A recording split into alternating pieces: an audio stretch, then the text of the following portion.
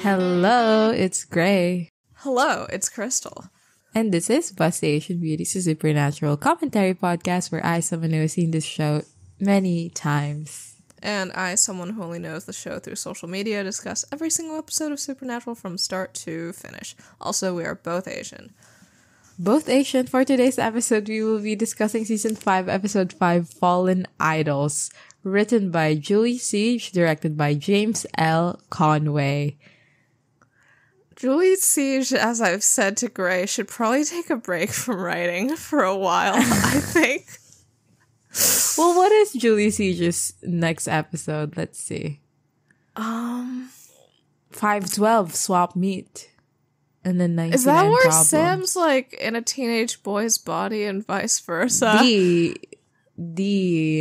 No, no, no. Dean is in a teenage boy's body in season 10. Dean's in a teenage Is boy's body too? No, because doesn't season Sam 10. like look Doesn't- through his room and then he goes virgin? What? No, Dean like likes I don't know Taylor Swift, and that's a 2015 episode. Well, I think no, Meet that- is Sam in a become- teenager's body. Like Dean doesn't switch bodies with an existing Yeah, teen. He, he is becomes just a teenage teenager. himself. Sam Yeah. switches body with a teenager. this is true. The last thing she writes is 99 problems. Oh, which is incredibly misogynistic, right? yeah. Yeah, not a Um, good run the- for Julie Siege. Is this the couch? but Is yeah. this the Sam and Cass the couch Sastiel? Okay. couch yeah. Yeah, that look launched to literally 100 everyone who AMVs. has incomprehensible to anyone who is not invested in such matters. They look at each other at the same time on a couch. That's it. yeah, that's it. And it means nothing, or does it? And it means everything to me and Me. all Sastiel AMV makers. It does.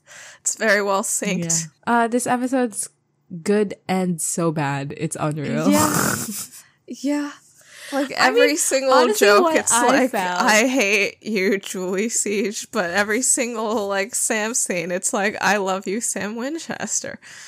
And every single Dean scene is a toss up between I hate this man so much it's unreal and aw. Mm.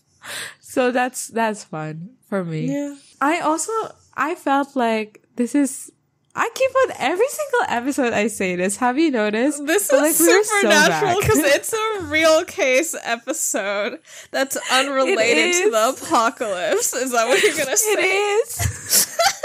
it is. I was so I was honestly quite happy about the case of it all. Like I Yeah. love a case episode. I I'm beginning to come around I on case missed it. episodes. Like I yeah, missed it. Yeah. And I like, feel like the current ratio they have going is good, like a two to one or a one and a half to one, like enough to make me miss case episodes.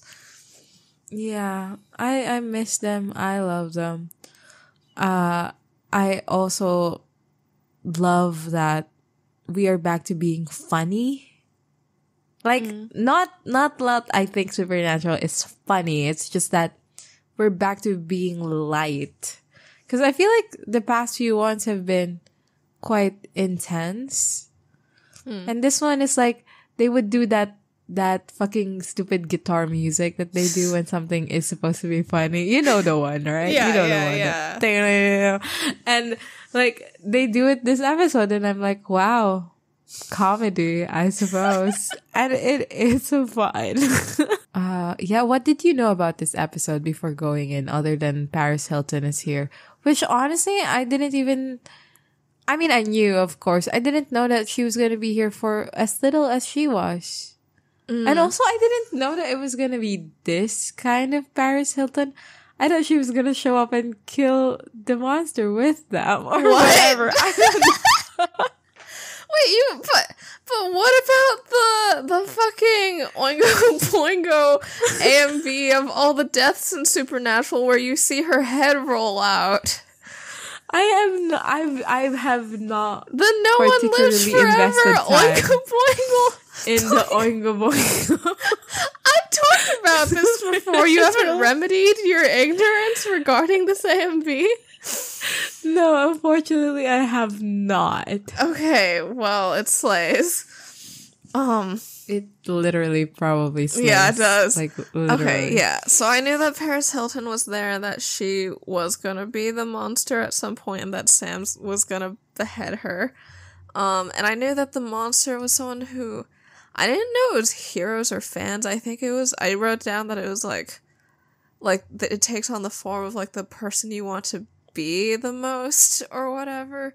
So then like Yeah. the monster runs across some teenage girls and turns into Paris Hilton and then Sam has to kill her. That's all I knew. Well, first of all, the most important thing that ever happens in this episode happens in the dance sequence, which Yes. is that Sam goes, Lilith, what's the final seal? Oh, that's not what I was talking about. I was talking about that they finally got the video and audio synced up for like the Sam and Dean like leaving each other in 502 scene. no, I mean, the episode literally opens with Lilith, what's the final seal? And I, I was like, we're in for a ride. And we truly were. We were mm-hmm. really in for a ride with this one. So yeah, Lilith was the final seal. And also, you know, remember last episode when I was like, when Dean says, you better be, or I'm sure you are, or whatever. Mm-hmm. you better be. It's so funny. You better be is such a funny thing to think Dean said. Yeah. Like when Dean says, uh, I know, I'm sure you will be, or whatever. Uh, and I was like, I was so scared of what he will say next because, like, that sounds so ominous. They play that this episode and they remove the, you're the second best hunter in the world line. So it's just the ominous. And I appreciate that. I appreciate it. Mm. You enjoyed the editorializing. Yeah, of course. I enjoyed the narrative that is created by splicing clips of Supernatural. And you can just say anything. I still have not moved on that that person said that about my MV. um, we start off in a good old, very, very classic before, what was it? What is this Cold called? open? Cold open. It is so fun to have a cold open that's just completely unrelated to anything that matters. You know what I mean? Yeah. It's so fun. So refreshing. Yeah. But uh our cold open starts with these two guys and they're like one of them is like, dude, I got something that I can't tell you over the phone about, but it's here. And they go over and there is this sheet that is covering something. And it took me until they unveiled it to realize it's a car. Like there's a garage and everything. and I still was like, I wonder what that is. it's because it's shaped odd. Like it's not the usual Yeah, okay. I was flicking between car and like lumpy motorcycle for a while. Yeah. A real lumpy one. But mm. yeah, it's the guy unveils it and it's obvious that they both know this car. It's a little bastard. It's a Porsche.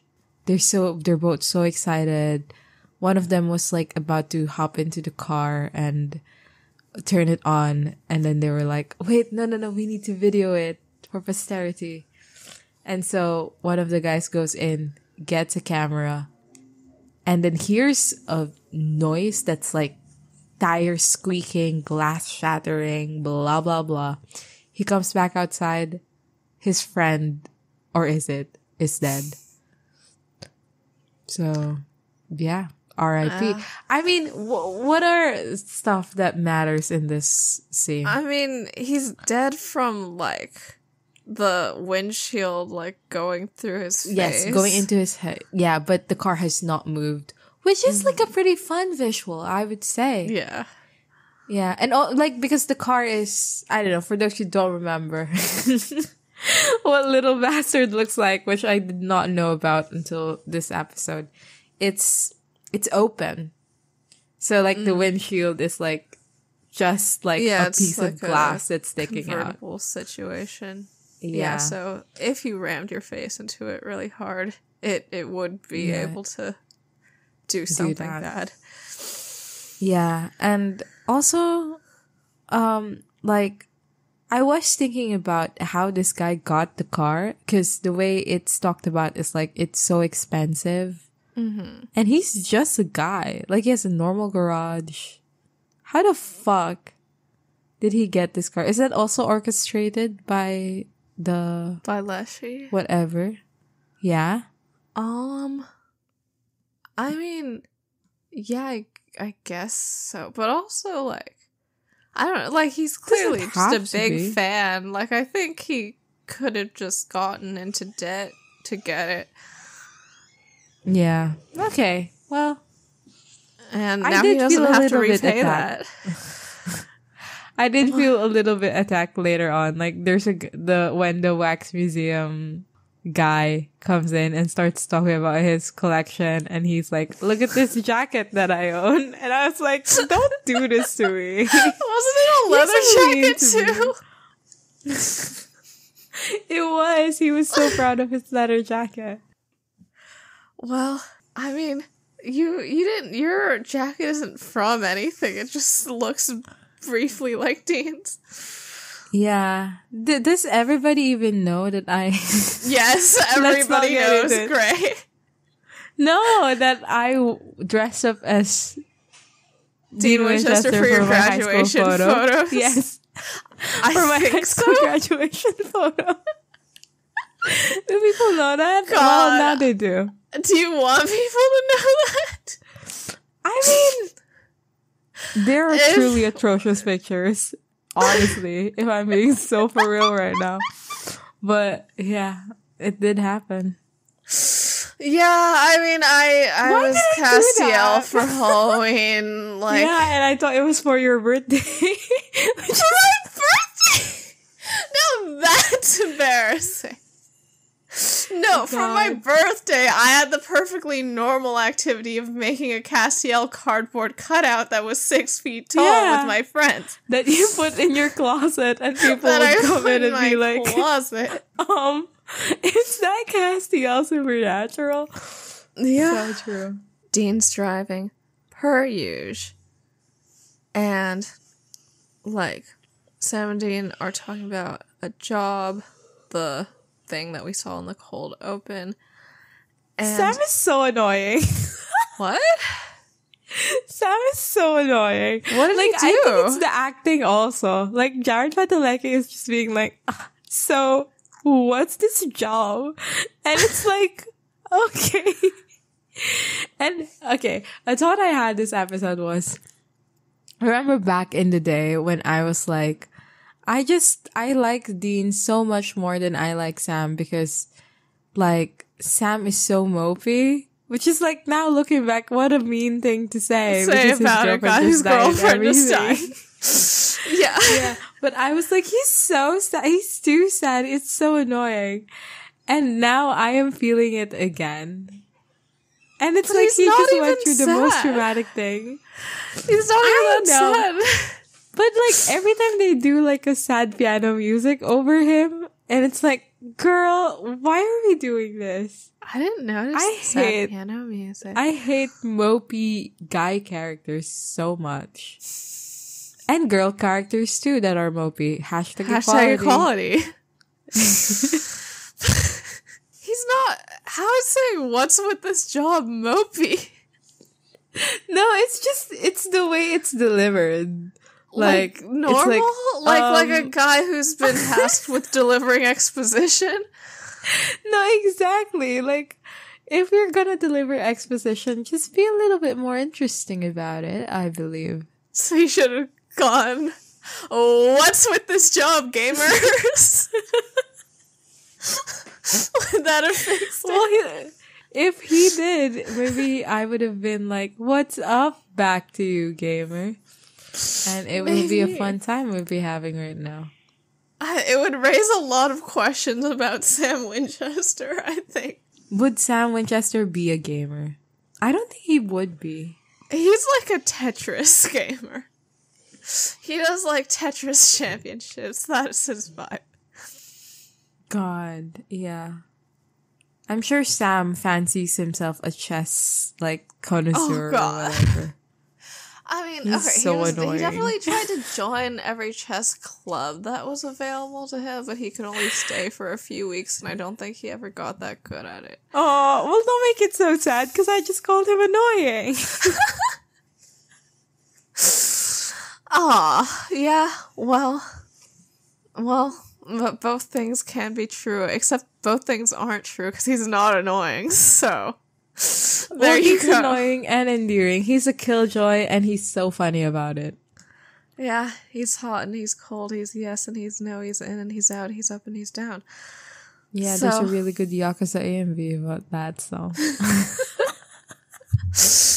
We're We so need- tangent. we need to be on yeah we need to we need a shorter recording time okay sam unannoyingly asks about the job dean is saying like isn't it weird and sam just keeps insisting like hey shouldn't we focus on the apocalypse like hey that's happening right now hey let's look for the cult um hey aren't we gonna kill satan and dean I guess he reveals the time skip, he which says, is they've been okay, looking for three Dean, weeks. I mean, if we're gonna ice the devil, he's.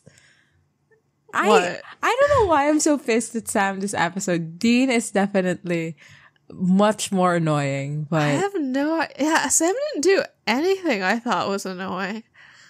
no, it's just that like, I mean, later on, it gets verified that Dean is being mean to him. He's not I being knew immediately. How You didn't know? It, from this discussion, I mean, I don't think this discussion is mean. I think it establishes that the arc of the episode is going to be that Dean is like of course. what being mean. Well, I mean, I just don't understand why Sam was like, and this is training wheels for me. And I do appreciate Dean saying that, like, no, Wait, our Dean's called it training wheels. Yeah, So- but not for Sam. Well, the it's them. obvious that it's for Sam if Dean's like saying end of discussion and deciding he's calling all the shots. Well, they're training to have this dynamic.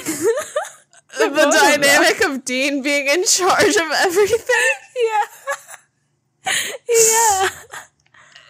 And I mean, That Dean really thought that was no what they were training for. I mean, Dean really did think that was what they're supposed to be training for. And then Sam goes, no, Dean. And Dean was like, ah, okay. Yeah, okay, fine. Dean was training both of them.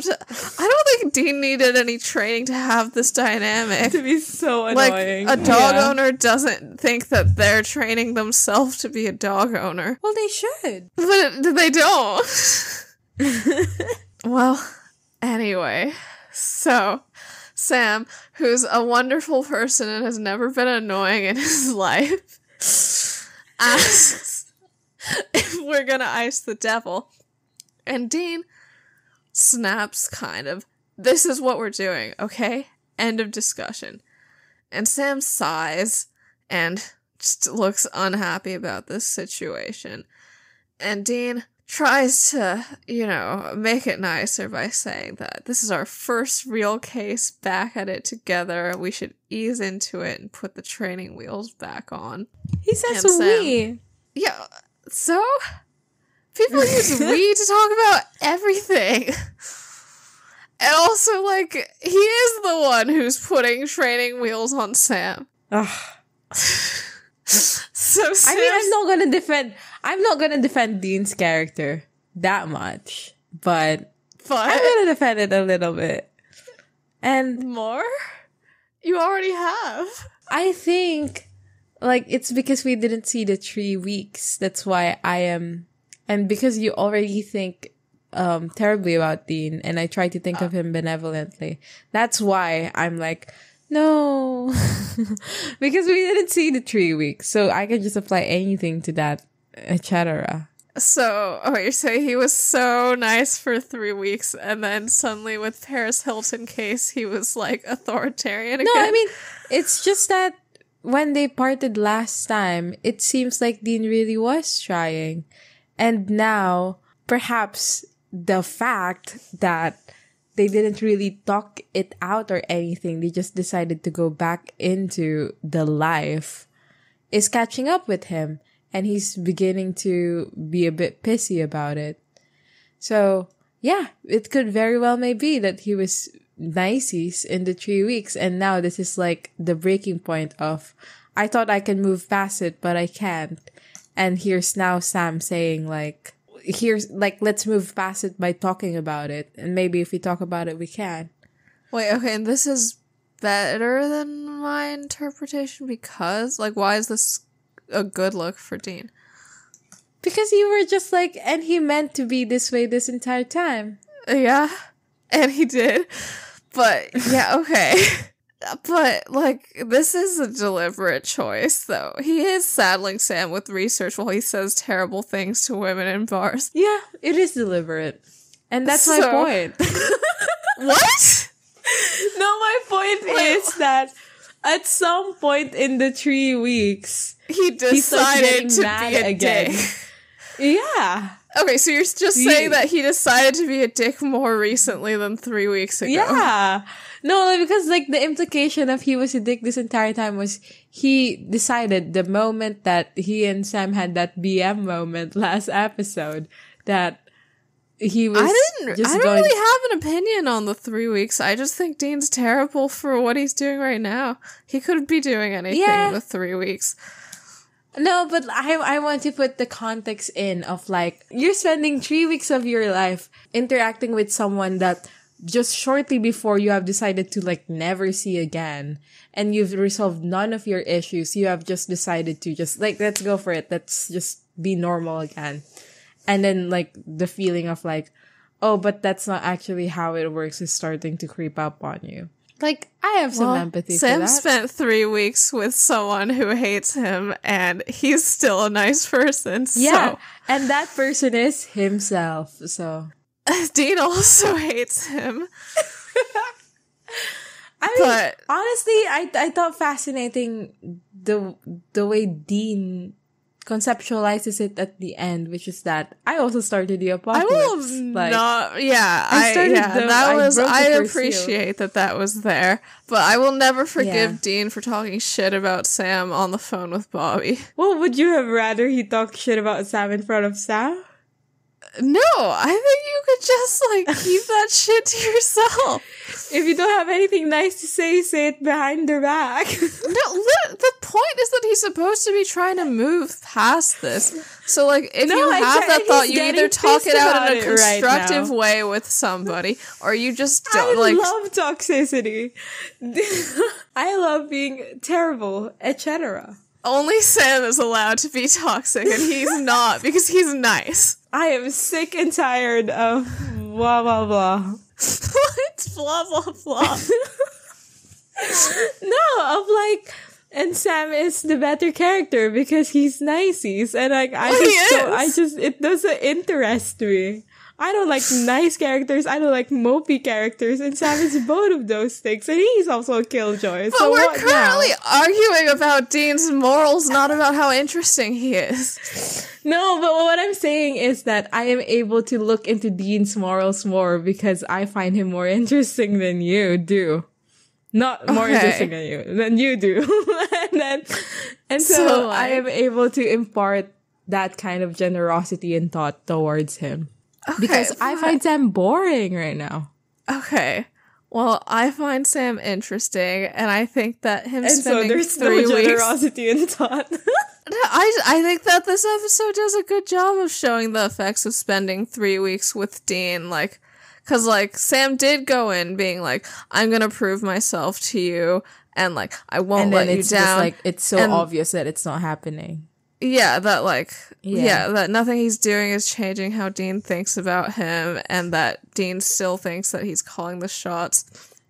blah blah Yeah. blah and they're not back to what they are before and i think that yeah this shows him at like a point where he's like no stop it in a way that's constructive and i think that it's i think the episode does Yeah. a good enough job with sam already I so i don't have to say much I- more everything that like especially towards the second half of this episode. Like it must be so gratifying for sam to be like i'm gonna put myself out there and speak my mind. And Yeah. it works. Yeah. Like for the first time in forever it works. And like that must feel very Yeah, gratifying. for him to be at a place where he's even able to vocalize like part of why I went off with Ruby was because of an issue with their former dynamic. Like he had to be sitting on that for like years, and like when the apocalypse happened, he probably felt at first like I can never tell Dean this because like I can never like not be guilty about this. So I'm really proud of him for making it to this point.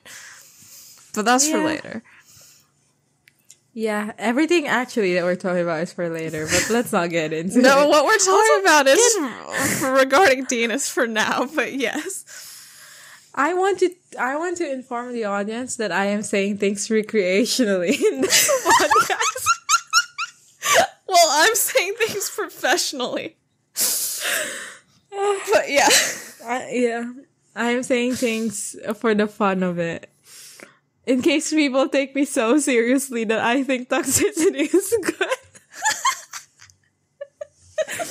well, I think Any it's bad, is but I'm also interesting. saying like, that Dean had to be a dick for the episode to work.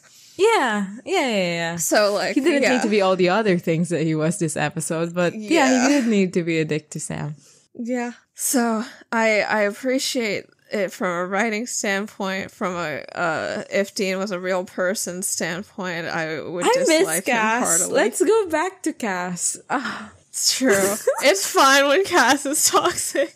it's fine when Cass is toxic, and every time Cass is on screen, I literally am just like having so much fun. It's kind of unreal. Sam goes flatly, unhappily, so you think I need training wheels. And Dean goes, No, we we need training wheels as a team. and Sam's Hell like, yeah. Okay.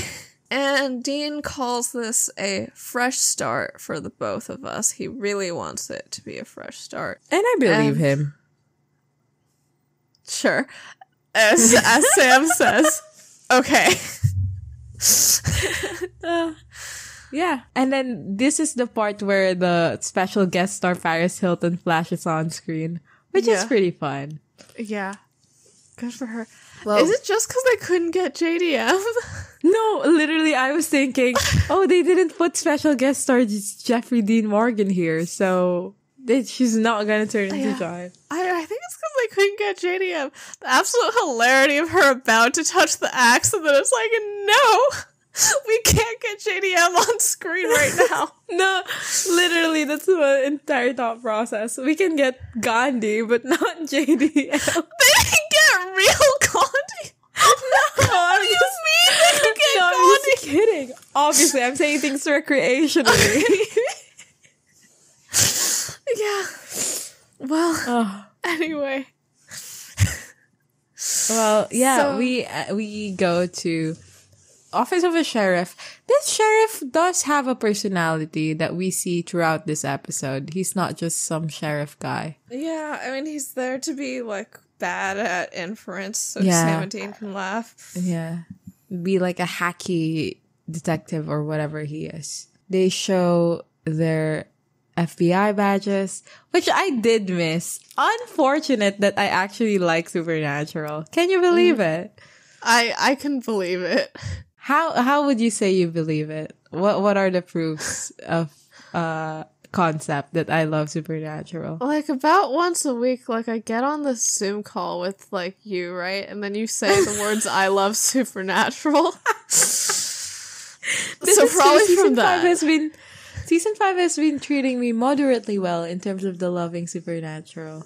Mm-hmm. They investigate the death of the guy who just died, and the sheriff shows the video that was recorded, and then he says that oh, obviously, the guy who was recording was the one who killed the dead guy, because that's just what happens. so Sam and Dean insist on interviewing the guy anyway. And when they do, he tells them the car did it. At first, they're like not believing. And then he says, it's little bastard, like the car. And Dean knows this car. So good for him. And, uh, yeah, I think we mentioned it earlier, but it's like James Dean's car. Dean is very excited. He was like, okay, we're to check this out. Yeah. Oh, and also the guy they're interviewing says that he says that the guy who died had been looking for it for years. So clearly, like, he's a James Dean fan. So we go to the garage. Is it still the garage of the guy when he died, or is it just a different place? But wherever it is, I feel incredibly sad that I wasted all of my car fucker Dean jokes last episode. Yeah, you're like Crystal. You can't say he fucks the exhaust pipes. He does. He does though. he wants to fuck this car. Dean loves cars. He really does. And I think last episode I also said he's a one car guy. he's not even a car guy. He's a one car guy. No, Or maybe I didn't say it then. you did Maybe I say said it he was a one else. car guy Okay. recently. Yeah. But he's not even a one car guy. He's a car car guy. So, Mm-hmm. yeah. He literally, he literally will. You, were you the one who was like, he's going to watch cars in a drive in? Yeah, in a drive-through theater with baby as a date. Yes. Yeah.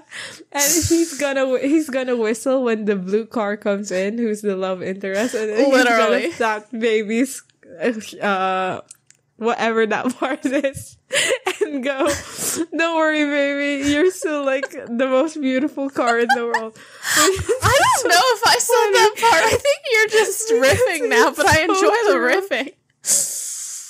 No, you definitely did. I you definitely did? did. Okay, well, congrats on passing me for being funny. I I said the drive-through date, but I don't know if I said the rest. I'm gonna look up Porsche. Oh my god, I did say it. I think he gave a little whistle at the blue Porsche who's the love interest in cars, and then immediately he was like, Oh no, don't, oh no, don't worry, baby. She'll never be as beautiful as you. I guess I did say all that. literally. This is literally what Dean is doing in his free time. But Yeah. anyway, he is so pleased with the car. He starts explaining the lore, which is, Yeah. you know, fun for him because he's not usually, this is not usually his job. I don't think he. I don't think Jensen Ackles plays it excited enough for it to like surpass the "this is clearly exposition" vibe. Oh, I mean, that, that one, but he does go underneath it and it is a scene. yeah, I mean, the thing is, when Sam is doing exposition, it's very clear that it's exposition. But this one is supposed to inform us of a character of Dean, which is that he loves to, he loves cars. I don't know what he loves be to. He loves to what, Grey? what does he love to do regarding cars? Well, he loves to look at cars and talk about them. Who'd have thought? Yeah. Yeah, but I think I, the fact that it's meant to be a character thing makes it like a worse scene. I think because Worse of the way that Jensen Ackles is yeah. yeah. incapable of carrying it through. Because usually when Sam's delivering exposition, it's because he's trying to like deliver information to Just Dean, get so, like, over it, yeah. matches up. So check this out, Dean. That's Sam's line. and yeah. Well, the story is that the car crashed and then the wreckage was being fixed up by a guy and then the guy gets killed by the car falling on him and then blah blah blah blah blah. And so the car is like haunted. And uh, Dean is like, oh, the guy who was looking for it for a million years didn't know that the real trick was looking at the engine. And He only looked at the outside. He should have looked at the engine. And so Dean looks at the engine. So Yeah. the way he fucking looks at this engine number is so ungodly funny to Well, me. before he First yeah, off- before he goes first down off- there, yeah. First off, Sam volunteers. And Dean goes, no, no, no. and he's a little, he's like scared, you know, he looks scared.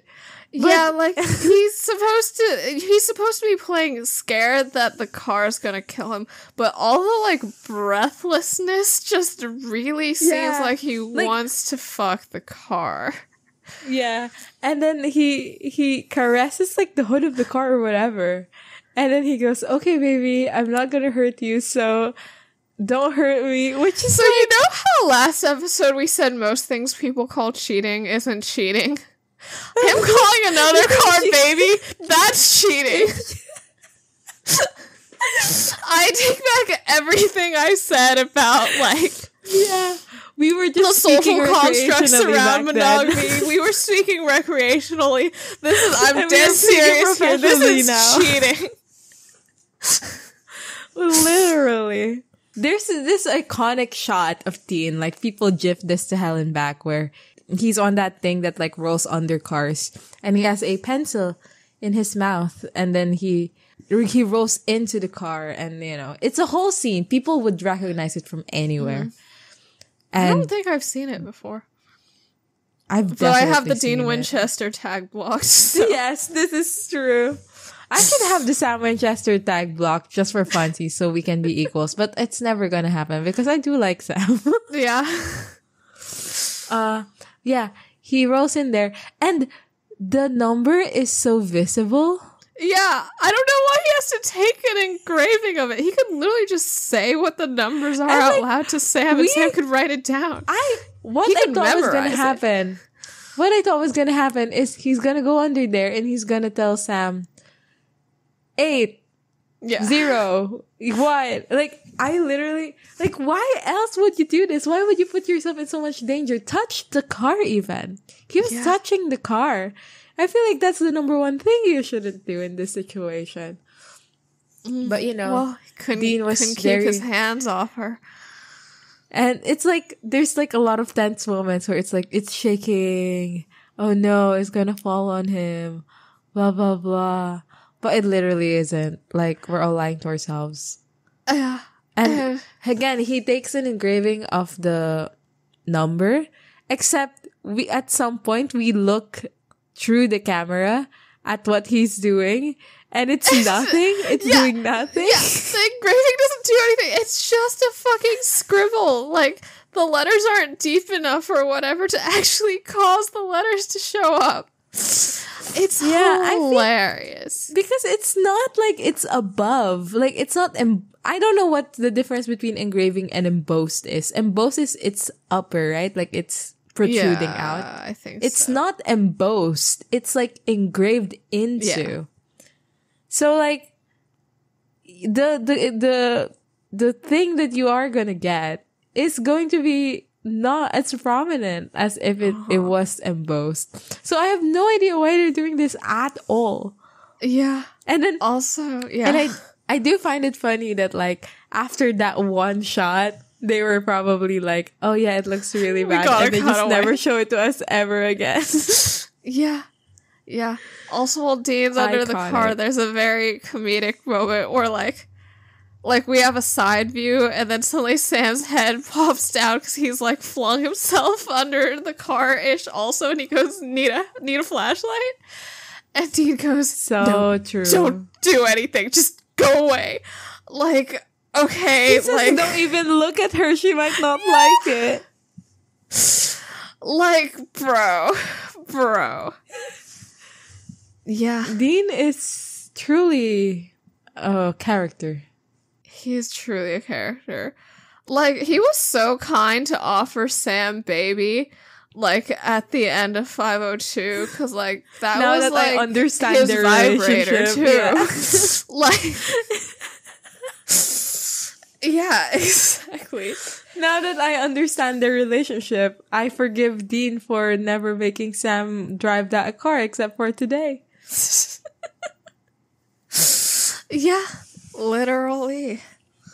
Well, anyway, he gets he gets the fucking engraving, but he doesn't really. I don't even know, and it doesn't even matter anyway. So who give a shit? And then he sends Sam out to have to do research for like an entire afternoon while he, I don't know, does things. And what he does, mm. we'll find out. So he's at a, a tavern called the Green Dragon, fun name, and he's talking to a bartender who is, of course, a hashtag pretty woman. And he's doing the thing that he did before He in did before, Shadow. Yeah. Was it Shadow? I'm not Yeah. sure what it was, but it was a yeah. Um, It's what? terrible. And the thing Yeah. is here, it's like even more I don't know, because last time it was like a passing remark, I feel like. Like he was like, "Oh, I told her I was a uh an agent." Is kind of how I remember that scene being versus this one where we see the actual conversation with the woman. Yeah. Right. So it is horrific to watch. So he's trying to flirt with her by lying and basically doing the if you sleep with me, I'll get you a job thing. Where Yeah. he goes, So you want to be an actress, huh? And when she says yes, he pulls out a business card and says, Oh, well, that's so funny because I'm an agent for William Morris Endeavor. And like, she takes the card and he's like laughing it up about how he is being sexually predatory and he thinks that's so fun. Sam calls. Sam's info is that I mean, I guess we don't have to discuss that more. It's just terrible and Dean should die, right? Yeah. Yeah. Yeah. Sam's info is that he took a it took a long time, a lot of research. Sam says it took like the whole day, but he found all the car's previous owners. He's just wearing a shirt. who? Sam. The costume choices this episode are pretty fun. Like earlier, there's one where Sa- Sam, where Sam and Dean are like out of their jackets, so they're in their white Mormon core. button downs, and it's and as. Crystal said, it was a Mormon core. And then in this one, Sam is wearing just a t-shirt, and it's the gray t-shirt. Wow, shout out to me. But no, it's a gray t-shirt. I feel like similar to stuff The he wears t-shirt? later on in the show. Yeah. Mm, Like the gray one, you know, you know the one, right? You know Yeah. the one. yeah, the one. Yeah. Also, um, when John gets mentioned later, I was like, wow, and Dean's not even wearing his Dean Winchester is daddy's little what's that? Daddy's blunt, Blunt little instrument. yeah. Dean is not even wearing his daddy's blunt instrument leather jacket. And then afterwards he wears it, which is hilarious to me. So But true. yeah, the costuming this episode is pretty fun. The car's history. Sam starts saying it, but then he hears the pool balls near Dean and he goes, Dean, are you in a bar? And he goes, No, I- I'm in a restaurant. Which honestly isn't that much better if you're not going to bring Sam anything back for his meal. Like, rude. Yeah. Uh, but then we have the bartender come back and tell Dean, "Here's your beer," and Sam's like, "Uh huh," and Dean goes, "That happens to have a bar," and Sam complains that he's been working his ass off here all day, and Dean just goes like. World's smallest violin, pal. I spent the afternoon up Christine's skirt. I needed a drink. You did not spend the afternoon. We saw it, and it was like two minutes. And, and also, that was fake. that was sexually exciting for you. That was like a good thing for you. yeah. Yeah, and this was Sam's whole day. And like, I don't want to get into the Sam girl, Dean girl debate anymore, but isn't the idea here that Dean thinks that Sam deserves to suffer? Or that he Huh. deserves more than Sam does? Well, I suppose so. I didn't really think about it, which is, you know, typical of a oh, yeah, Dean girl. typical I cannot girl. believe, I cannot believe we have gone back to being a Dean Girl versus Sam Girl podcast. I thought we were past this. I thought we were all just Sam girls at this point. You know that one, you know, like when people are like, I love that your podcast is Sam Girl. Well, I'm sorry for betraying literally everyone. I mean, the people who say that are not Sam girls because real Sam girls know that neither of us make the Yeah. cut. if you if you saw the Sam girls that I interacted with, you would throw up. Yeah. I think it's just like there is a degree of Sam girl or Dean girlism or Cass girlism even that mm-hmm. just becomes extremely difficult to maintain once you're in the show, once you're watching it week to week. Like at some I- point, something's gotta give. And for me, it gave like season four, season, yeah, that I was completely on Sam's side in every single step of the way. Mm-hmm. And I hated That was Dean. nice. But, Yeah. but now we are back. now we're back, baby. But yeah, such is how it is. Or okay, yeah, I'm trying to figure out. It's not. I don't know if it's like Sam deserves to suffer. I think it's like, but I think it is the whole. I think like, it's- Sam has the yeah. training wheels on. I'm in charge, so like I delegate tasks. I can have fun. Sam's making up for the apocalypse. So I mean, it could also just very well be I don't want to spend time with him, and uh, he's going to do the research anyway. So I'm just going to, uh, which is, I mean, I'm not saying that it's like an excuse, as if that's a benevolent thing. Like yeah, obviously, and it's also they not. haven't inspected the like body I yet. think, ah, you're right. Like they could be separate, and Dean could still be doing something. Yeah, because typically when they're like apart, Separate, they're both yeah. yeah doing a they're both working the case. Like one of them in, is interviewing Yeah. a witness and one of them is doing blah. So like it is a deliberate choice that Dean is like, this is like you do all the hard stuff right now because I'm in charge and I don't wanna. yeah, yeah, yeah. Yeah, but I do think that part of the I needed a drink could be like the I want to get away from you thing. Yeah. So yeah, and I feel like I feel like every time Dean has been slightly mean to Sam, like he thinks, well, he started the apocalypse. Like it is an Yeah. easy go-to sentence for him to think to justify his actions to himself. Sam has found that nothing about the car is haunted. It is a fake little bastard. We cut to the house of a man named Mr. Hill, who we find out later is a professor in, at like the University of Canton, Ohio, or something. And his maid comes Yeah. in, and she is Latina. Specifically, she's from El Salvador, Sheila says later. And she tells him that she's done. And She has an accent. Yeah, she has an accent. Um, and she tells him that she's done, and he bids her goodbye. But then he Yeah. breathes out, the air is cold, and then he turns around and he goes, Oh my god, it's you! You're dead. You're dead! You're supposed, to, be, dead. dead! I would assume it was a guy in a fucking costume!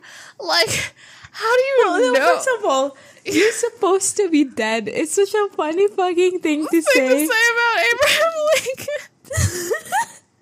like, I That is dreamed always, first thought. but That yeah, I was the like, first thought. that is what you, you say to like, like someone you murdered or like your ex-wife who like died like ten years ago. You know, like Yeah. Like not the person who has dead. been dead pretty much your entire life. I mean, definitely your entire life. Yeah. Oh God, what a silly. Like when it was revealed that it was Abraham Lincoln, I did laugh. I was like, why did he Yeah. say that then? You're supposed to be dead? I think the idea is just that he's such a big fan of him that like it, he does feel like a close personal. This is real so to him. Reacts the way that you would to a close personal friend. Like me when I see Caravaggio, I'll be like, you're supposed to be dead. But I always knew that you would come back for me. For real. I mean, I also want to use this platform to ask an important question, which is how do you pronounce his surname? Lincoln? Lincoln. Lincoln. As in linked in without the D? I guess that's how I say it, Lincoln. Yeah. Okay. Yeah, okay. Well, that's good to know because I've always just said Lincoln. So yeah, it's Abraham Lincoln, but like again, there are Abraham Lincoln impersonators everywhere. Like I would not see a guy who looks just like Abraham Lincoln and go like, "Oh my god, it's Abraham Lincoln come back to life." I'd just be like, "That's some good makeup."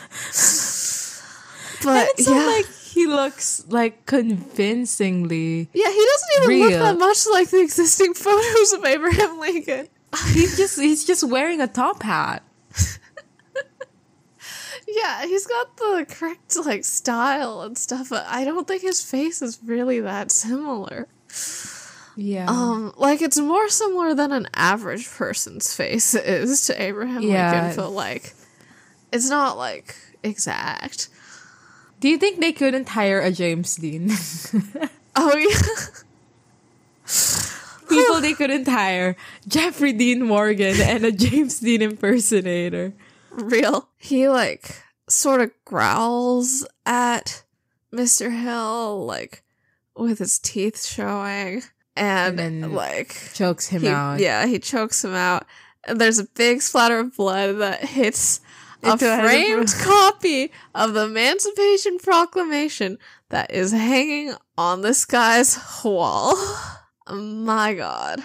Because later it's like, he was like a Civil War professor, so it's like, like, I, but like, yeah, but like being a Lincoln fan is like a different thing than being a Civil War professor. So like, he is true. really likes this guy. Like, I think that the I think the framed thing is like he's like a real Lincoln fan. No, but, Why like, you frame don't the think Emancipation? I don't think-? Like Yeah, what is it's supposed to be your biggest idol? Because I genuinely do not buy that Sam's biggest idol I think it's just is Gandhi. I think it's just anyone who you because it's admire? like who you admire enough because it's like the wax museum didn't have every everybody. Yeah. Well, we don't have to think of this then as he's like a Lincoln super fan. Lincoln yeah, super fan. Or Lincoln. the, I the Emancipation know how to do it. Proclamation framed is like I mean, that could just be like a, a professor thing. Like, that, it is an important document. I guess. I mean, I- guess. I don't know. I'm trying to rationalize it because not for this guy, but for Sam later. like, Sam yeah, no, I don't think that that's his biggest posters. hero. Yeah. But yeah. So I'm trying to think of like maybe he's just like he's a professor and like he also admires Lincoln. Lincoln. he al- yeah. So like you know, it j it mm-hmm. just so happens. Yeah, I just feel like whoever decided this just doesn't know that much about the Emancipation Proclamation. Or, okay, I guess he could admire it as like a strategic move and not as a civil rights move or whatever. I guess that is typical Civil War professor behavior. Alright, I have no criticisms. I think what's interesting about like a lot of professors is you would expect them to deal with complexity about their Uh-huh. subject matter. But Yeah. also, who is the type of person person who would To get be like, into I want to spend my Yeah. whole life teaching this topic. exactly. Which is Yeah. where the crux is. Yeah. Yeah, like some people are into it because they find the complexity interesting, and some people are into it because they're like, "Oh my god, cool Abraham stuff." Lincoln Yeah. was like such a good guy." Like you can you can learn the complexity of course, but if you come in already thinking a certain mindset, which well, that's kind of that you have to choose to be this kind of professor. There's a whole police hubbub about this. And the sheriff is saying that like I don't know, this is gonna be there's there's gotta be an explanation and he goes like it's a professional killer and they're like trained assassins and they don't leave fingerprints and all that. And Sam and Dean are just like Okay, well can we talk to the witness? And the sheriff goes, Well, sure, but she's not making any sense. And she's not making any sense in Spanish either. Boo. So yeah, this is where we talk about it, I feel. yeah, like, just this line just does so much work regarding the oh, this is racist for real. realsies. Yeah, the tone setting of the scene. Yeah. like yeah because before it was like this is a stereotypical role and i wish that supernatural had latinas that play like other roles but like here it's like oh no this is bad yeah no because it's like it's very gimmicky the way it is. Yeah. it's like oh That's what I don't boy like look at about this new challenge that we've thrown up against the brothers someone who I think for me, it's that- it's that they would only do this if it has to be a contrived plot thing in this way. Like they won't supernatural won't ever just have a character who has an accented English or who Yeah, speaks or Spanish yeah. primarily. Just because. Mm-hmm. Or I don't know, maybe they do in the future. I feel like I would know though if they did. but okay. Uh yeah, so Yeah, like no, here, it's so we went out and we hired like- this person specifically because we wanted For this her only thing to be that she can't speak English very well. Also, I don't know. Yeah, I don't, I think I think people have talked about the lack of translators in like police departments, and i oh, feel like i've mostly heard about it regarding um like domestic abuse in immigrant families because usually the husband is the one who's doing the abuse and is also better at English. So like he can like shape the narrative like in the way that he wants it to be seen. But yeah. Yeah. I don't know. It it is like police shouldn't exist, but if they do exist, they should have translators. Yeah. She's saying that she's from El Salvador, which, as you said, she mentions. Mm-hmm. And she witnessed the thing. Yeah. She's And very shaken so- about it. Yeah. And so Sorry Sam and Dean woman. approach her about it. And Dean is the one who starts talking first. And, you know, he's speaking in English and he's saying that, like, well, um, did you see something? You did, right? And she's speaking in Spanish. And Sam pushes Dean aside and I was like, okay, I'll, I'll, I'll try. And he, like, tries.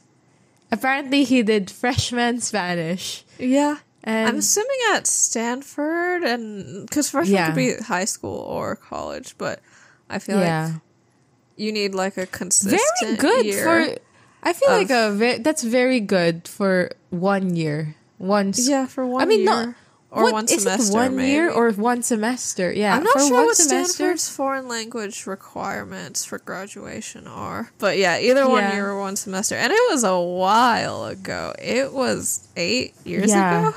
you have to practice this shit she's saying that well uh she saw someone tall and someone with a bigote so a beard a mustache and well he doesn't have a mustache right?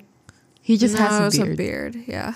and also like she's describing the outfit she's describing the hat and there's like a whole thing where it's like she goes oh he's wearing a sombrero.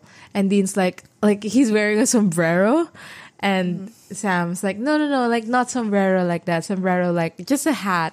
And she describes it as big and then she like keeps on motioning that it's like tall and tall and tall and dean goes oh like abraham lincoln I pronounce it different every single time I say It's it. fine. I don't notice. Uh, and she goes, exactly. Like the President Lincoln. Sam and Dean are like, oh, n- what? She says Abraham Lincoln killed Mr. Hill. Yeah. And then, yeah. And the point is like the last, like she's been speaking in Spanish, but the last line that Abraham Last Lincoln line killed Mr. yeah. Hill is in English. And the point is like, oh, like we're gonna make it understandable to everyone at the end to make it so so funny. And like, I think that adds on to the whole like, I don't know, like they only brought this character in for the gimmick because the point of her like shouting it at the end is like she's like sort of like overcome with emotion or something about it and she's distressed and like i feel like you don't do the work of like translating stuff into english when like you're saying Yeah. something like very distressed so it is just like for the it's just a whole setup for you know the gimmick that we mentioned earlier not Yeah. a fan Not a fan. I, we keep on saying this. I wish there's more people in Supernatural and people of different kinds, different kinds of people. Yeah. And Supernatural just fails so severely at that. And when they do have a person that they don't usually have, it's always this kind of gimmick.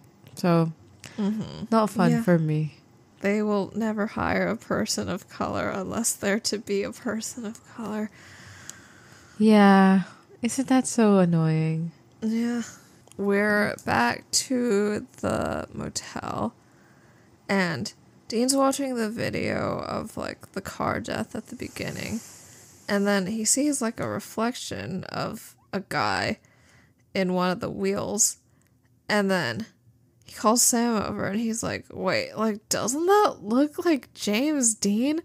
It looks like nothing. It looks like a blur, but. Yeah, I have no idea how I don't know, Dean maybe knows of like this. the the red jacket is like an iconic James Dean look or something. Well, I'm super. I I'm sure it is, or maybe it isn't.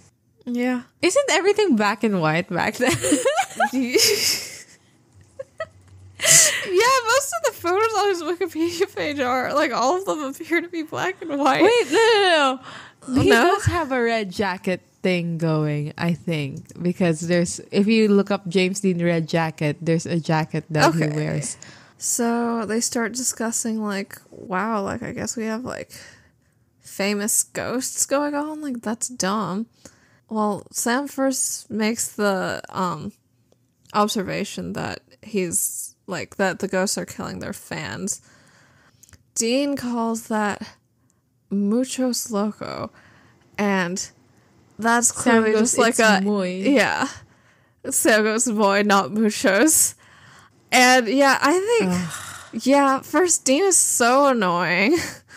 Cause like clearly he's just saying that as like a isn't it funny that we ran into someone who speaks Spanish today? Isn't that like a funny thing Yeah. that one experiences in one's life? And I think that the the Sam correction is positive. I I'm think like this they're also just making Dean take the offensive role and so Sam as the like as the writer the other one, yeah. can go like ah ha ha I know it looks racist but not really cuz Sam's correcting him. Yeah, yeah. So it's like, yeah. So, so we're it's just making fun of Dean right now for say shit. For so being- it's yeah. fine. But like, we are introducing the initial idea that like someone who speaks Spanish is something that one could laugh at. So like, Yeah. it's like you could have just not done any of it in the first place instead of trying out this Yeah. balancing act. They're saying like why are the ghosts here instead of you know where they were during their life. And then Sam does a little bit of research while Dean is drinking soda by the sink. And then he goes, "You got to be kidding me." We don't see what it is, but Dean repeats this sentence. And they go to a wax Yeah. museum. Yeah, the wax museum thing is actually pretty cool. I liked Yeah. it. Yeah, no, they Like, keep think it's a playing it as like thing. wax museums are so weird and no one wants to come here, but it's like I think they're kind of cool. Yeah. When my dad went to LA, he went to the Madame Tussauds one. and I he took haven't been. pictures with the basketball players, which is so typical dad behavior. so correct of him. they go in, and it's dead silent in this space. Like, there's nobody here, which is brought up later when the, like, museum. What is he? A curator? Yeah, I or guess so. owner uh, yeah when the museum owner says like oh we're a bit busy. And dean was dean looks at the completely empty hall like oh this is busy and he goes well it's busy later. It's early right now. And he goes it's 4.30 which i did find pretty funny. Like i'm sorry to this guy. Mm-hmm. But yeah the implication is that oh it's so weird. The wax museums are so weird and the people who run them are so weird. It's literally fine. Yeah, I get like, And I also guess, these are, the like, point just that really it's, like- nice yeah, they are really nice. I think the idea is that it's like creepy, But like you are Yeah. literally in the supernatural show. Like get over it. Dean walks up to Gandhi and says he's short. Yeah. And Sam says, Hey, Gandhi was a great man.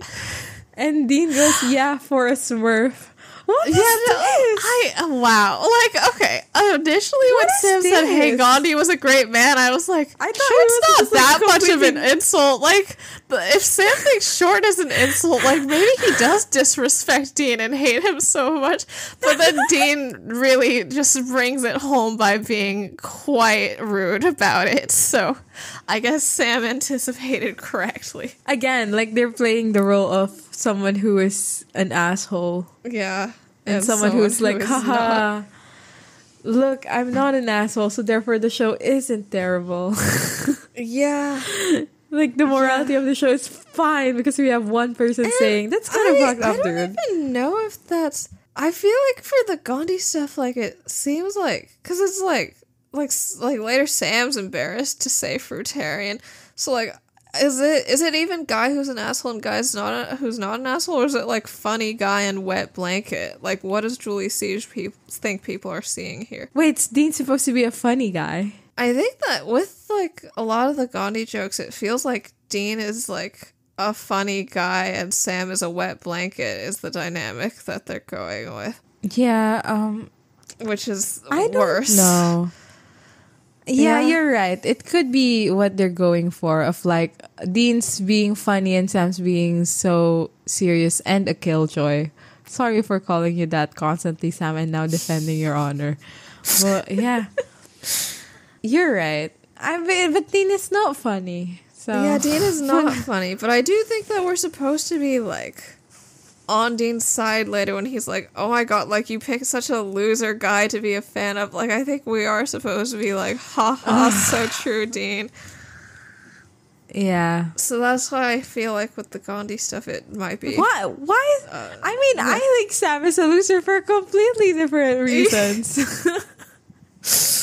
I mean, yeah, yeah. like, I think I. I mean, like I think he's a loser for liking Gandhi, but like it completely but different reasons, that Dean thinks. Like I think it's fine to like a guy who's a fruitarian, but yeah, there there are other reasons to be a loser for liking Gandhi.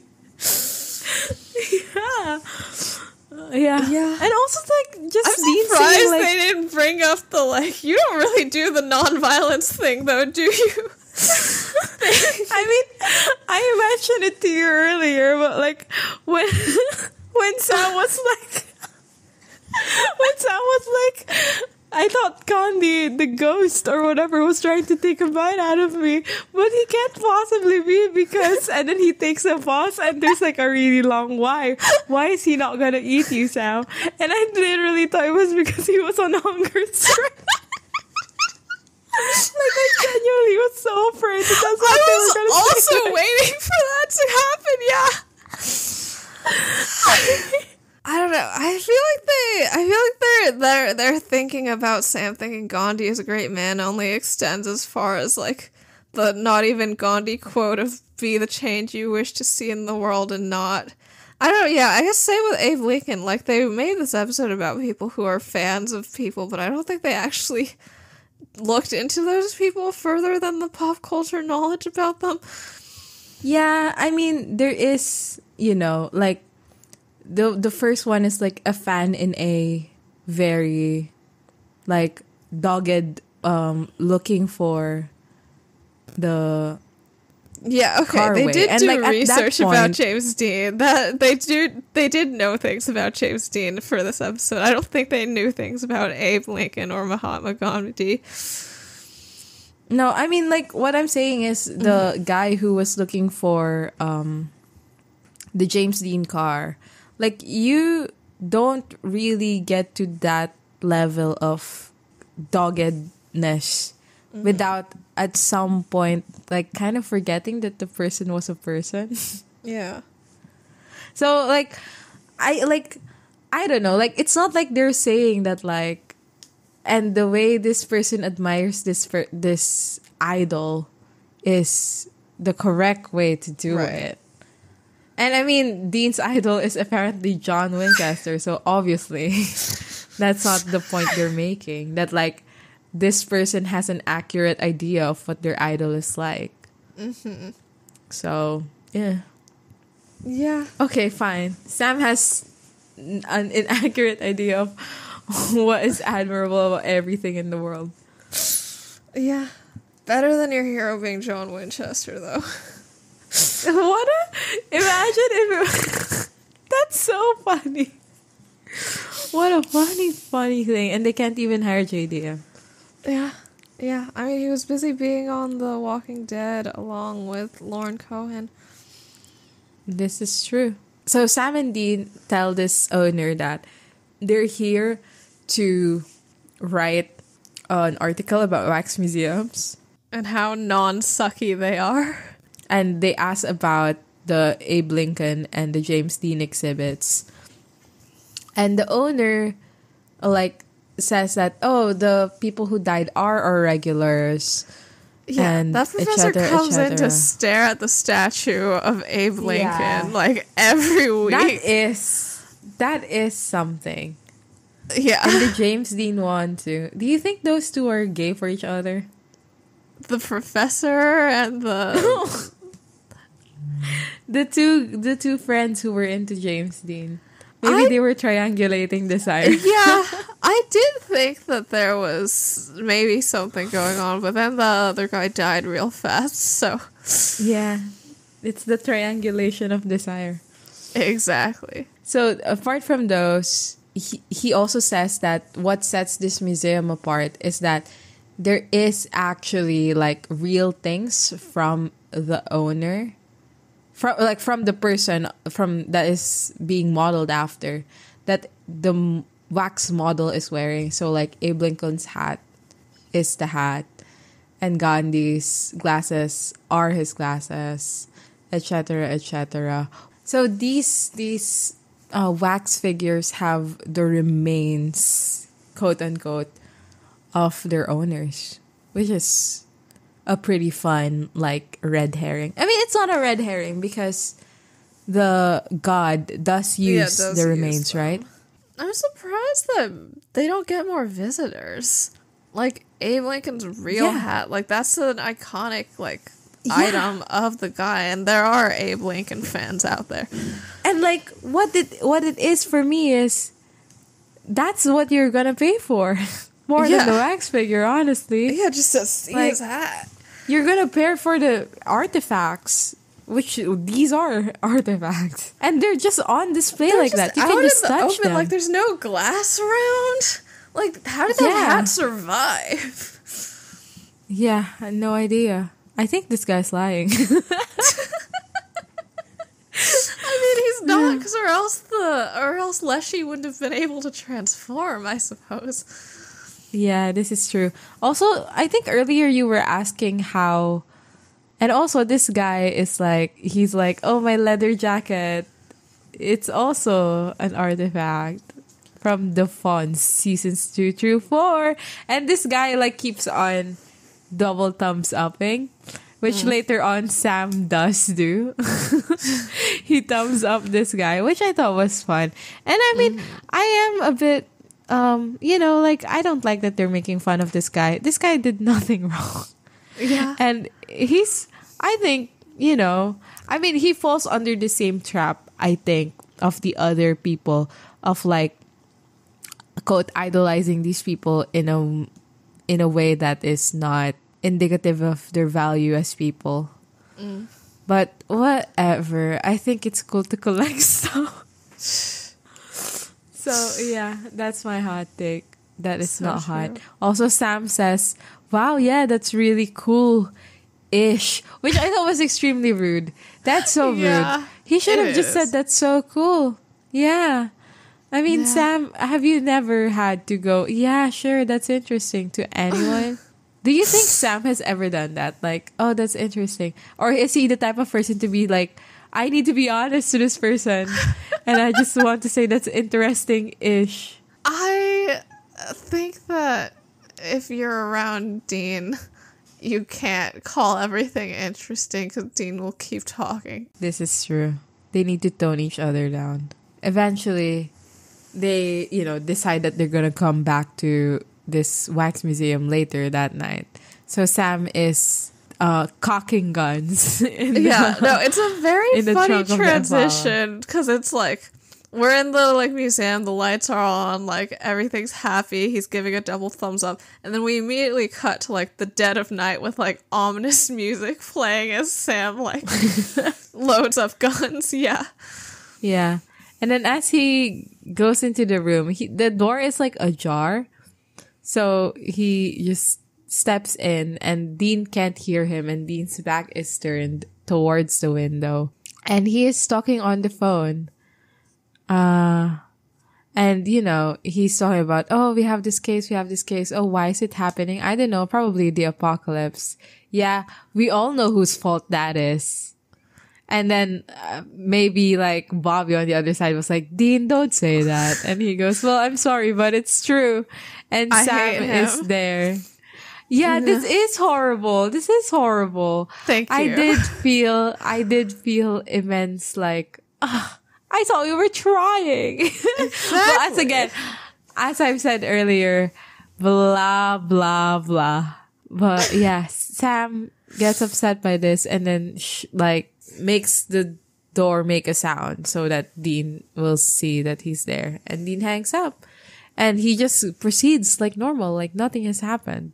And Sam just says like, so are we just going to pretend that I didn't well, first hear all he asks that? Who was on the phone? And Dean says Bobby, yeah. thus confirming for Sam that Bobby only loves him as a coworker. no, Once imagine more. if that was Cass. Like for a second, I was like, "For a second, I thought it was Cass." Did you? For a second, I thought it was Cass. Yeah. I appreciate the idea that Cass is defending Sam because he, he's like secretly like, well, it's my yeah, fault, well, honestly, if we door, think about it. but he's never gonna tell Dean that ever, mm-hmm. ever in mm-hmm. his life. So, yeah. yeah, unfortunate. And yeah. And Sam says, like, are we just going to pretend? And Dean says, pretend or don't pretend, whatever floats your boat. What a and, dick. Yeah.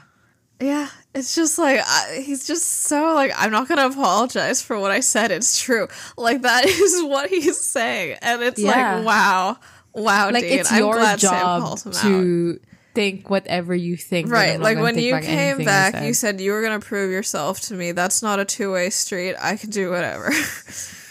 yeah, and yeah, Dean says this was. Uh, Sam says this was supposed to be a fresh start, Dean.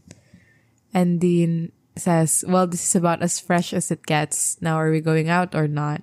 And this is like, like what, what my quote analysis of Dean and Sam and Dean's relationship up to this point from the three weeks comes from the most.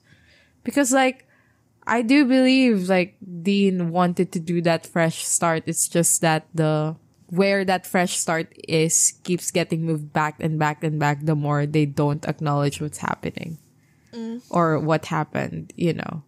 Mm-hmm. So yeah. Like I fully believe Dean was like, let's do a fresh start and now fully believes that this is as fresh as it gets. as he right. says. So yeah. yeah. I mean, he doesn't announce fresh start until like today though. Yeah, I, I mean there is that implication already like last episode's final scene, right? Well, last episode was I'm going to prove myself to you. I know you will. So like I feel yeah. like fresh start is like I'm going to try to move this to a new no, stage. I'm, I'm, I'm talking mostly about the we're we're gonna go hunting again. Like you know the implication of the thing, not necessarily the words exchanged. Like they were gonna go hunting again. Specifically, like Dean being like, "Well, you're the second best hunter around," with the well, those with, are also in combination the words. to the. No, no, no. Like, what do you in com- mean? yeah. Like the like it's not about what's specifically said there, like the words itself, but like the implication of it, of like like I am not gonna wait for you to prove yourself. I'm just going to act as if you have already. And then the further they go, it becomes more clear and clear that like that's not what's happening. It's it's the Um. same deal with the with the knife, like giving the knife. Like he could have withheld that knife, you know, and could have been like, okay, let's wait a little bit. But he he gave it immediately, and I think that's the right decision. But Right. I'm sure throughout this thing, Dean was Dean also thought like, was that the right decision? I don't think I read Second Best Hunter the way that you did. Like, I think I just read it as like I'm making a joke to diffuse the tension. I don't think I read it as more meaningful than that. No, I like you said too last time we talked about it that it's it's supposed to inform like a return to normal. Yeah, as in like So like let's Yeah. yeah, a return to normal as in like yeah, a return to the former brother dynamic, I suppose. But are we are we talking about the dynamic regarding the job or like them as brothers right now? I think them as brothers because Okay. yeah. Yeah. Yeah, okay. So I guess the second best hunter joke is like a let's return to how we were as brothers or like I'm attempting to do it. It's just But- the job and the brother thing is completely inseparable to them. I mean, Sam tries to quit and Dean basically goes, let's never see each other ever again. like, it's inseparable for them. Like, Yeah. S- Sam left for college and to Dean, that's like, well, you're not a hunter anymore, therefore you've left the family. Mm-hmm. And the only way he can be back in Dean's life is if he's hunting with him. So, like, it's not really a distinction one can make, especially Dean Winchester as the one. I feel bad for Sam, and he's probably been trying to tell himself the whole time that like it's okay. I'm like still trying to prove myself, blah blah blah. And then hearing this is like, well, Dean's not trying back. yeah, yeah. They go into the museum. Oh, right, no. I think, right, my one other thing was that the sting is definitely stronger because Dean sent Sam out to prep the trunk with all the guns. And so, and apparently it was so that he could talk shit about Sam to Bobby Yeah. in the motel room. And I mean, that's Sam a major asshole move. Yeah. Sam was already suspecting that Dean was like avoiding work to do something else. So is he now thinking that like, oh, Dean went to that bar to bitch about Talk shit about me more. yeah. Yeah, can't be a good feeling. They re enter the wax museum and they go in and take off Lincoln's hat to burn it. And Dean's like joking around, putting the hat on. And Sam's like, whatever, let's just do the job. And Dean's like, you're a killjoy, but okay. So Sam starts staring down Lincoln. And I really have no idea why he's doing this. Why is he doing this? It's for the suspense. This episode is ungodly short. It's the same reason why they did the car thing. It's because this episode is ungodly short. It's like 39 minutes long with like a two, three minute soon section. So, Right. That's crazy. yeah. So this episode Wow. is pretty short. Yeah. So, I don't know. Maybe he suspects that, like, the wax museum or the wax statue itself did it. Maybe he's just, like, looking at the. He's maybe he's just admiring the details of the statue. But yeah, he's staring Lincoln down. It's suspenseful. Like, their faces are very close. Um, but then the doors slammed shut and won't open, and then his breath comes out visible, so it's cold.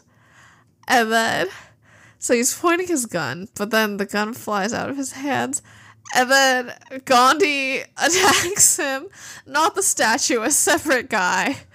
Yeah, and they make it a point of showing the statue still be there, not Yeah. moving.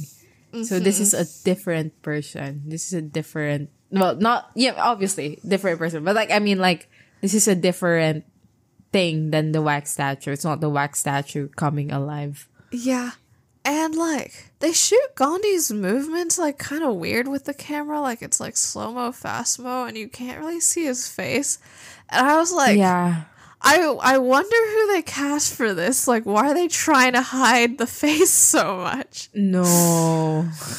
I don't. Okay, I I don't think that they they cast like a white guy, but we'll find out during the IMDb check, I suppose. I mean, it's possible because I know that they cast a black man to play an Indian character in Hammer of the Gods.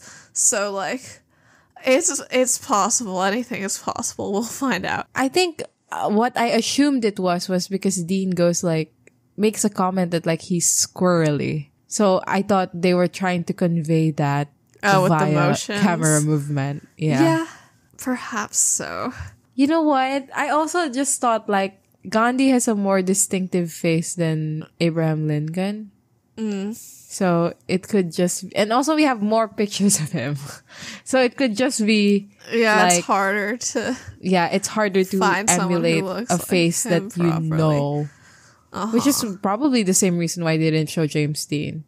But it Mm. is like, you're right, because with Lincoln, they really do show his face. Like, they really show his face. Yeah. So he's attacking Sam and like jumping on his back and shit and strangling Yeah. him. And Dean rushes Sam in. does a fun move where he like back slams a wall oh yeah. To to slam Gandhi off his back, which I thought was pretty fun. Yeah, good for Sam. Dean runs in and um really does not seem to be seeing the He the gaff. yeah, he does not care. He thinks this is mostly funny. Um, and Sam's being strangled, but through the strangulation, he's like, "Get the, get the glasses." Um, so Dean gets the glasses and burns them, and then Gandhi just immediately disappears. And as Sam's like recovering, Dean goes, "You couldn't have been a fan of someone cool, really, Gandhi." Again, Sam is a loser for being a fan of Gandhi, but for reasons other than what Dean thinks are the reasons. yeah. Yeah.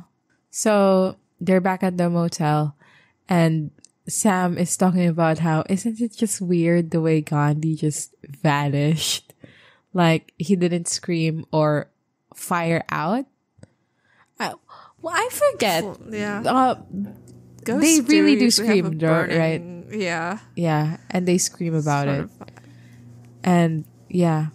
And he was like, Well, I burned it. He vanished. And story.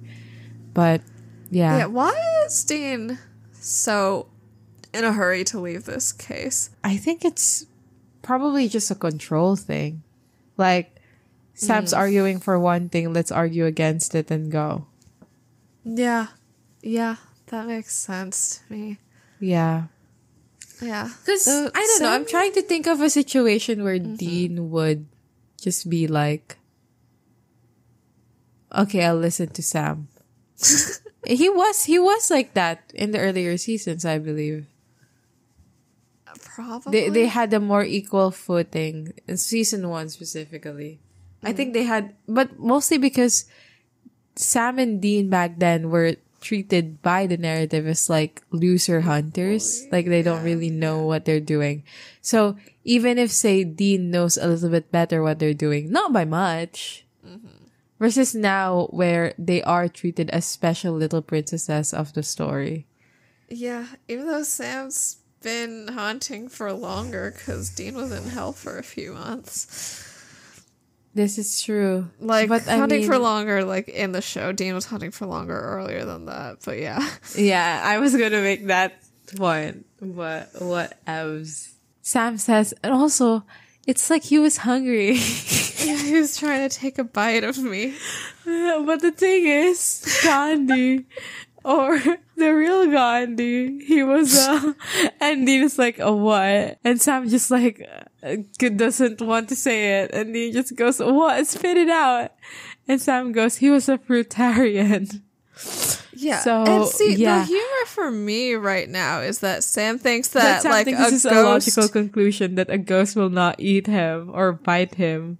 because Exactly. the like person first, is most people weren't cannibals during their life.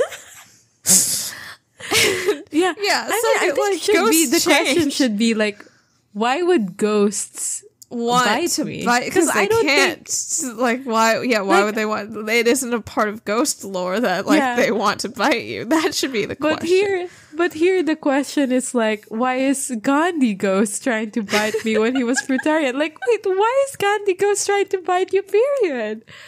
Yeah, why is Ghost trying to bite you? Period. Yeah. But the comedy to Dean is that Gandhi is fruitarian. I Yeah, understand that. Yeah. Funny that, yeah, that he was a fruitarian, which isn't even true. He was a fruitarian for five years and then went back to being a vegetarian. Dean keeps making fun of him for it and goes like, "Oh, your ultimate hero is not only a short man in diapers, but he was also a fruitarian." Fuck off, Dean. Which, yeah, fuck off, Dean. But yeah, like Sam is saying, like I don't, I don't think this is over. I don't think it's a ghost. But Dean again gun ho to just leave. And Sam says, "So first you dragged me into town, and now you're dragging me back out." And Dean says, "You're not steering this boat. Let's go." But Sam doesn't. Mm. And he says, "This isn't gonna work." yes. Go Sam. it. Go Sam And- forever. Yeah, he says, uh, you and me together, I thought it could, but it can't. And Dean says, you're the one who wanted back. And Sam says, no, but you're the one who called me back in, which is Yeah. true. Yeah. And Dean says, like, oh, we got some trust building to do, that's all. But Sam says, well, how long am I going to be on double secret probation? Which is a way to put it. And he really is, I think. Yeah. And Dean says, till I say so. He doesn't even deny it. Well, this part, I'm like, Sam. but he says, look, I know what I did, what I've done, and I'm trying to climb out of that hole. I am, but you're not making it any easier. And Dean says, well, I'm just supposed to let you off the hook. And Sam says, no, you can think whatever you want, which I love. Like, I, because like Sam for a while, for a long time has been like, I think so adamant on Dean being forgiving him or being angry enough at him. Bobby forgiving mm-hmm. him. Bobby thinking he didn't do anything wrong. Bobby thinking he's forgivable. And it's like hearing Sam say like, you can think whatever you want. Like it is coming from a, a place of self deprecation because he says like, oh, I deserve it. Like whatever bad thing you think of me, I deserve it. But like the point he's making here, which he says is the point is if we're going to be, if we're going to be a team, you and I, it has to be a two way street, which I like. I love that kind of acceptance. Like it's mm-hmm. not a matter anymore of you. You should Yeah. Forgiving what me you think of me? It's just like, Like- fair treatment. Yeah. like forgiveness comes in layers like forgiveness you can forgive a person in action but still blame them in thought and what he's saying to dean is you can blame me in thought all you want but you can't expect me to be here and you're acting the way you do and i will continue to be here mm-hmm. which is like yeah Yeah. you can think whatever you want but don't treat me like shit Yeah. Yeah. Good boundary setting. good boundary setting, but also like for Sam, I do feel that is a character development thing, mm-hmm. right? That like I am going to ask for forgiveness and I will hope that you forgive me, but if you don't, there's other things to worry about. And there Yeah. are other things to worry about. Like, I feel like Sam is the one who's been saying the word sorry in like all of season five so far. And like Yeah. this episode, Sam doesn't say sorry and Dean does. And yeah, so Dean asks, and at this point, he's not like convinced or anything. He's still being like condescending when he mm-hmm. replies. He says like, "So what? Are we supposed to go back to the way it was before?" And Sam says, "No, because that was bad. We were never we were that never way." that way before. Yeah. Before didn't work. Go Sam. Love that. And he says, How do you think we got here? One of the reasons I went off with Ruby was to get away from you. so and true. Dean is surprised by this. This is a revelation for him. Right, like, he's "Who literally you?" been the guy who's like, you chose Ruby over me, like you betrayed me by going off with Ruby, but like he never thought that it was to get away from him. Like he thought these were just completely unrelated things. Yeah. No, I I do think he thinks that. Like I think he thinks that Ruby tricked Sam and Sam wasn't doing anything out of his own volition. And when Sam was like, "No, I am choosing it." He ascribed that to Sam's addiction already and Right. Sam's um like, you know, all the other stuff happening. Yeah. But he didn't stop to consider that like before all that there was a reason why he was going off with Ruby. But he is very blamey about like you chose a demon over your own brother. Like, is that something you would say when you were like you were hundred percent just being tricked, and then later when you made the choice, it was because of your addiction? Like that seems like a different idea caused that sentence to happen. I don't know, like there's a difference between you know, like choosing some like as you said, there's a difference between choosing someone over someone else and like choosing someone over someone else to get away from the second yeah, someone I think else. that is different. So so like maybe Dean was just like you chose her over me and didn't connect the dot that to get away from me. It literally Yeah. was just you just chose Yeah, Again, like Sam, you think Dean, I'm so cool and great, but you had the audacity to think Ruby was cooler and greater. literally like Yeah. all of these characters are so bad at self-reflection like so so bad mm. but yeah and sam says it made me feel strong like i wasn't your kid brother oh i love the term kid brother so Yeah, much when fun. sam says it yeah and dean says are you saying this is my fault and again this is delivered condescendingly. Like after this, Mm-hmm. I had no idea where the episode was gonna go with Sam and Dean. Or I mean, you know, I had an idea, but I didn't really know the specifics of how they were gonna resolve it. Because Dean still feels incredibly cagey about everything. Sam says, "No, it's my fault. All I'm saying is that if we're gonna do this, we have to do it different. We can't just fall into the same rut." Oh, So and then they're going to. And then they're Oh, going to. right. Well, the, let's not think about time that. immemorial. Well, I mean, they're not going to. It's not the same. It's not the same problem over and over again. It's different problems, but it's problems nonetheless. This is the part where there seems to be something changing with Dean, like, because when he says what, I think that was the first time he was like actually taken aback by something Sam was saying. Yeah. with the you know like I went off with Ru- Ruby to get away from you, but uh yeah, he asked like what do you want me to do, and Sam says you're gonna have to let me grow up for starters, but this gets disrupted because Dean's phone rings, and then it we we are made aware that somebody else has died or somebody else something weird has happened yet again.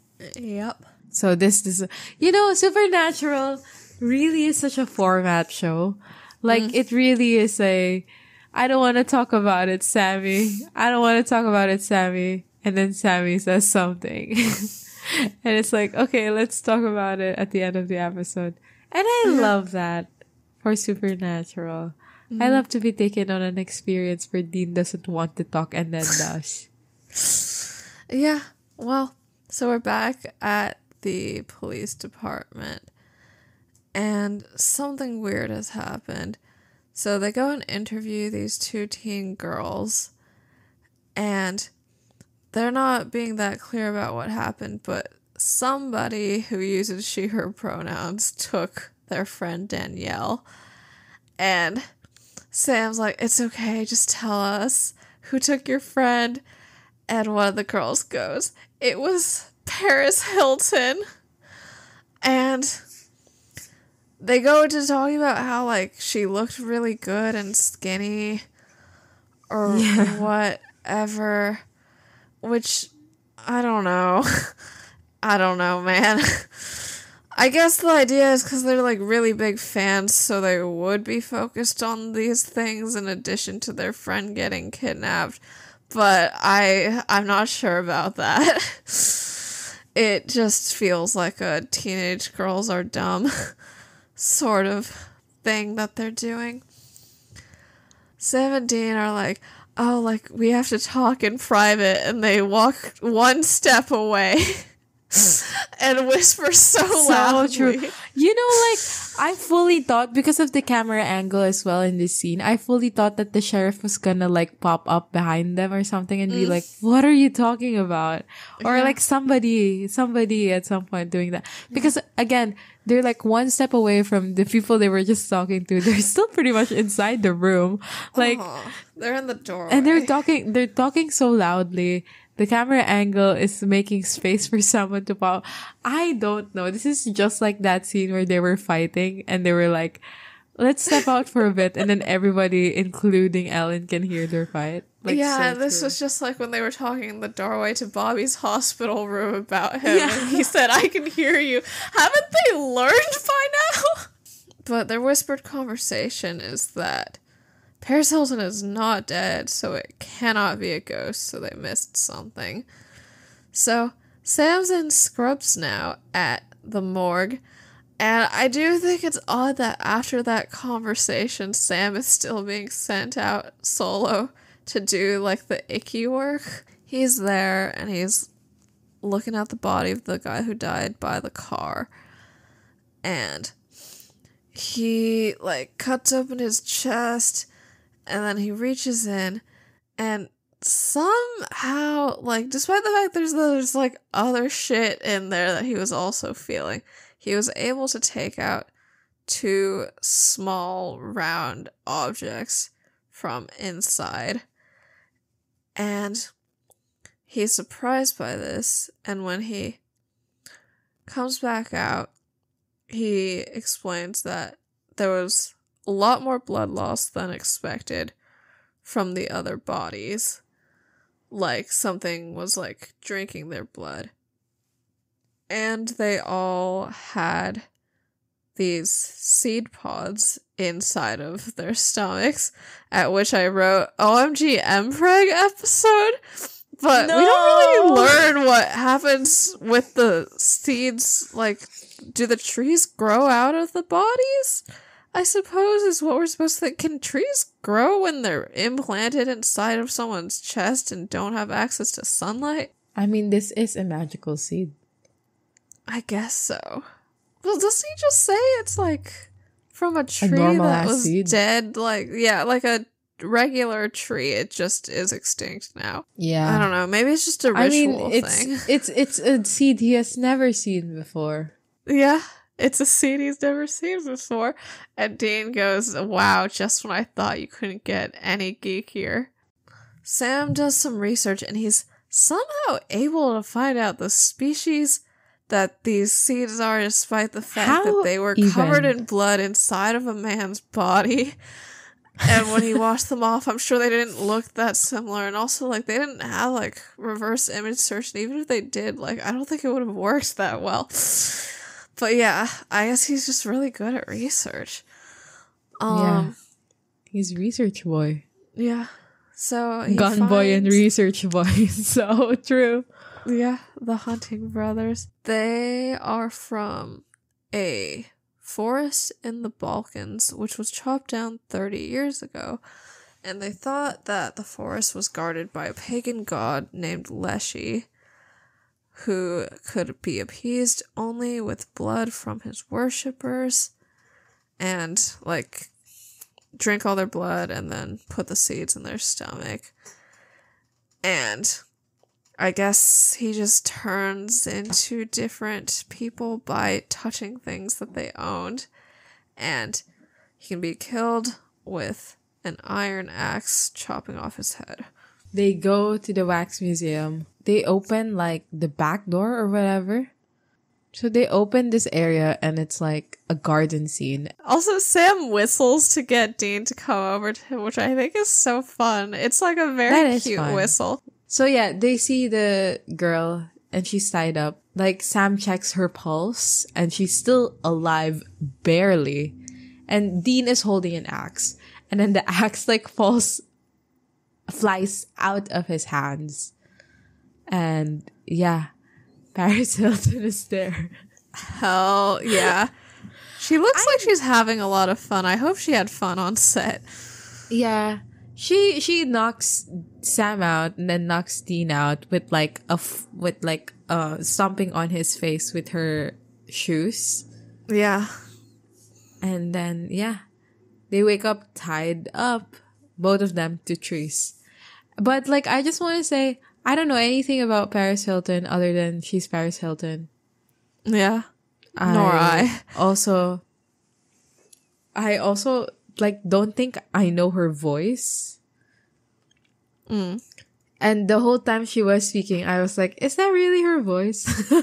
I think it probably is. I mean, it is. It is. It's just me being like, "Huh, I did not expect her to sound like that." You know, like the because it's a face you've seen so many times, but the voice is always new when you hear it. Mm. But yeah, this is Paris Hilton. How did they get this collab? Or I mean, she could just be a supernatural fan. is that true? Can we look that up? Okay, Paris Hilton. Um, okay, it says that oh, it says Jared Padalecki co-starred in the movie House of Wax with her. So they probably did the wax Oh. museum and the Paris Hilton thing like for fun because of that. That's why Dean says I haven't even seen House of Wax. Okay, it says that in Access Holly there was an interview with Access Hollywood where she said she was a big fan of the show and was excited to be part of it. Do you think she's just saying that, or was she really a big fan of the show? I don't know. The other thing that in I can't the believe article people are fan that of Supernatural. yeah, I Like, mean, don't do many that. people are.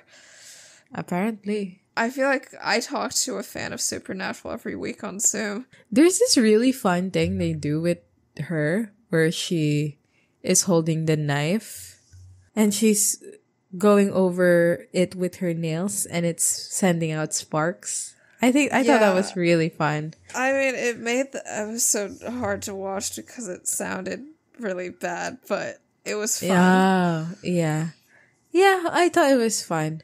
Paris Hilton is saying like, "Oh, I've been eating a lot of fast food lately, so it's nice to do the ritual right. Prepare a nice slow meal for a change, which is pretty fun." Hmm. And well, Dean says, "I guess these days nobody gives a flying crap about some backwoods forest god, huh?" And she goes, No, not since they cut down my forest and built a Yugo plant. Which I do think is interesting. What are the things that, what are the concepts being talked about here? It's, uh, it's that one. And then also like the concept of like the United States being, um, having no God. Yeah. like their goddess their goddess celebrities and whatever. Uh-huh. I mean, isn't there, there there's that one tweet or whatever that was like you want to insult the British, you in theory can just insult the Queen, but if you want uh-huh. to insult like Americans, you have to insult McDonald's or whatever. This is true. what else? I don't know. It's just about worship of gods and idolatry and celebrities. And it is, I suppose, fun that it's Paris Hilton they're making do this speech Yeah. because that is celebrity 101. Mm-hmm. Yeah, she's the famous for being famous person. Eventually, Paris Hilton now wants to kill Dean. Except she can't unless she transform into she transforms into someone that Dean idolizes. And so Dean's like, "Oh, I don't even idolize you. I've not seen House of Wax." But she goes, "No, but I know who you really idolize. Your daddy, am I right?" And the axe apparently belonged to John, so she can just go touch the axe and turn into JDM and then drink Dean's blood. Slay. So she goes to reach for it. Dean gets out of his binding and then goes to attack her, except she gets the upper hand. And then Sam also gets out of his thing. And then he gets the the axe and then eventually axes uh once, twice, three times until the head rolls over. And his face is super duper duper bloody. So bloody. Which is so fun. hot. so fun. And, you know, Sam gets a word in with Dean because Yeah. he's like, dude, you just got wailed on by Paris Hilton Fuck yeah. while laughing. And it is fun to see him laugh with all that blood Yeah. in his face. Like, Yeah. ah, so true. Love that guy. So, yeah, I don't. Is the like, you have no god, you just worship celebrities instead? Is that at all supposed to be related to God being dead in 503, or, or is it just doing its own thing? I think it's just doing its own thing, although you can relate it for sure. Yeah, yeah. I feel like it has its own thing. It's kind of silly, but oh well. It is supernatural. We return to the motel. Dean is on the phone with the sheriff, and Danielle's gonna be okay, like the teen girl. The sheriff is putting out an APB on Paris Hilton. They are heading out to the Impala. Dean says, I was thinking about what you said yesterday about me keeping too tight of a leash on you. And Sam doesn't say anything. He just looks, he just waits. And Dean goes, like, maybe you're right. I'm not exactly Mr. Innocent in this whole mess either, you know. I did break the first seal. And Sam says, You didn't Aw. know. And Dean said, well, either." neither did you. And that was a really nice moment. Because I, yeah.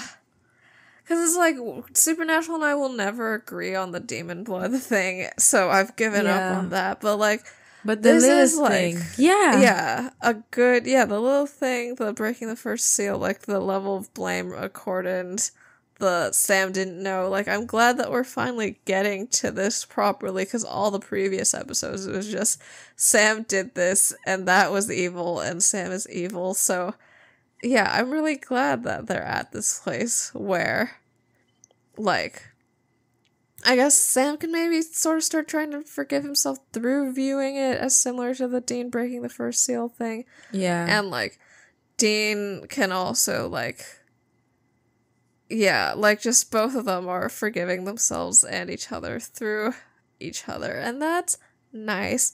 And it's nice that they're just yeah, reminding us of this. Yeah. I am thinking about how like to Dean at least there is a positive to come out of it. Like I mean like killing Lilith is a positive thing. The side effect of the apocalypse starting is negative and also the drinking demon blood to get there is negative. That's Dean's calculation. Mm-hmm. To Dean it's all just negative.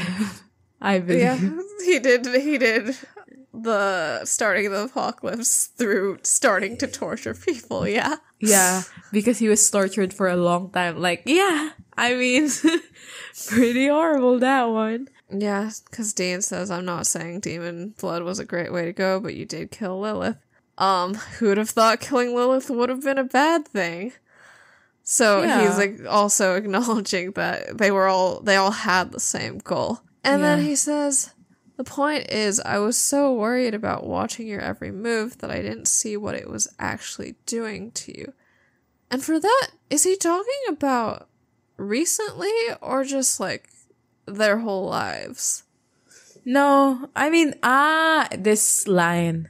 Like because I- Sam I'm is saying like sure. it never worked in the past, right? And I think it could oh, be a more recent thing. I'm more on the long term side because I think Dean might be responding to Sam saying like the past Mm. patterns we were in didn't work and like yeah. made me and this could be conceived that way. Like, you can think of it that way. Whichever way. yeah. Yeah. Yeah. So it's a reasonable. Yeah, so it's like yeah, like part of my overprotectiveness and control is what led you to like Yeah. go off with Ruby and I acknowledge that. Yeah. Yeah. good for Dean for getting to this place. And I hope that I hope that this does for Sam what Sam wants, like for I want to bring up closure. something. Mhm. Um, you asked earlier, like, why is it that Sam is still the one who looked at the coroners? It's because Dean asks him what he wants to do, right? Um, is that what happened? Like, Sam says, like, oh, we missed something. And Dean goes, what do you want to do? Which, like, at that point in the episode, that was a concession. Or not a concession. That was a sign of, like, oh, Dean's taking it to heart. Because he asks Mm. Sam, like, what's your game plan? So the reason why it was Sam who was in the coroner's office probably was because he asked to be there. but what was Dean doing? I don't know. Probably doing research, whatever the fuck. Was he? Yeah. I mean, I think part of the charm of this episode is that Sam is the one who figures the case out. Mm-hmm. So, Yeah, yeah. Like they didn't get a call from Bobby being like Bobby like says it's a Leshy. yeah. It It is is. vital that Sam f- is the one doing the research, I feel. Or like Mhm. doing the figuring things out too. Like narrative wise. Yeah. Okay, I get that. So after Dean says that, he pauses and he goes, So for that, I'm sorry. And Sam says, Thanks. They discuss a bit. They come to like the same conclusion that they come to at the end of every episode, so I didn't even Yeah. know why it was a new conclusion.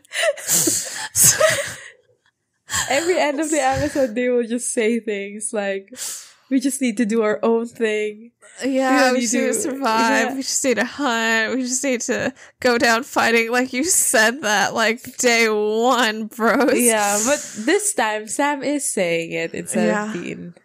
So that's the So yeah, so Dean asks, "So where do we go from here?"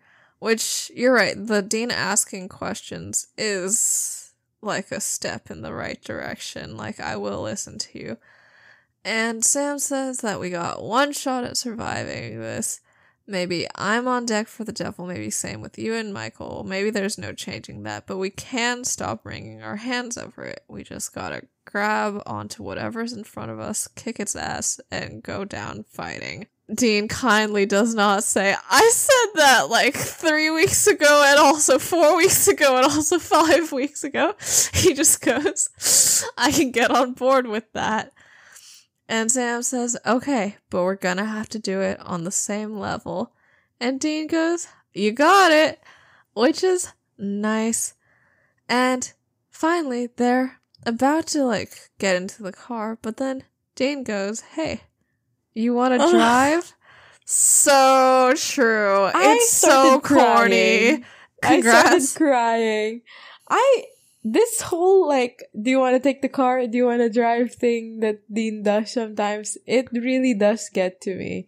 Like it Mhm. matters to me, and like as in, I kept on telling myself uh, when I saw when this scene was happening, and I was crying, like full on tears flowing down my face. I was like, but it does matter. Like it does matter. like I Mm. was like trying to convince myself that it does matter. But the thing is, it does matter. I think it matters to Dean. It it matters to Sam. It matters to me. So Yeah, I mean the writers put it in because it matters. it I matters. think it, it is a little corny sometimes, it's but I corny care. as fuck. But we are in the CW Supernatural. It's fine. Indeed, we are. And yeah. Yeah, So Sam asks we you drive. sure, and Dean says I could use a nap, and they drive. Yeah, and also like, you know, they drive, and also there's a a C. What's that? There's Uh, a like a next time on section, Yeah, which I don't think we really ever get a lot of. yeah. I think we got like I think it's just because this. I think it's because this episode is so short. Like honestly, Maybe so. Yeah. Um we see bits from changing channels and um, bit 99 from- problems. I think.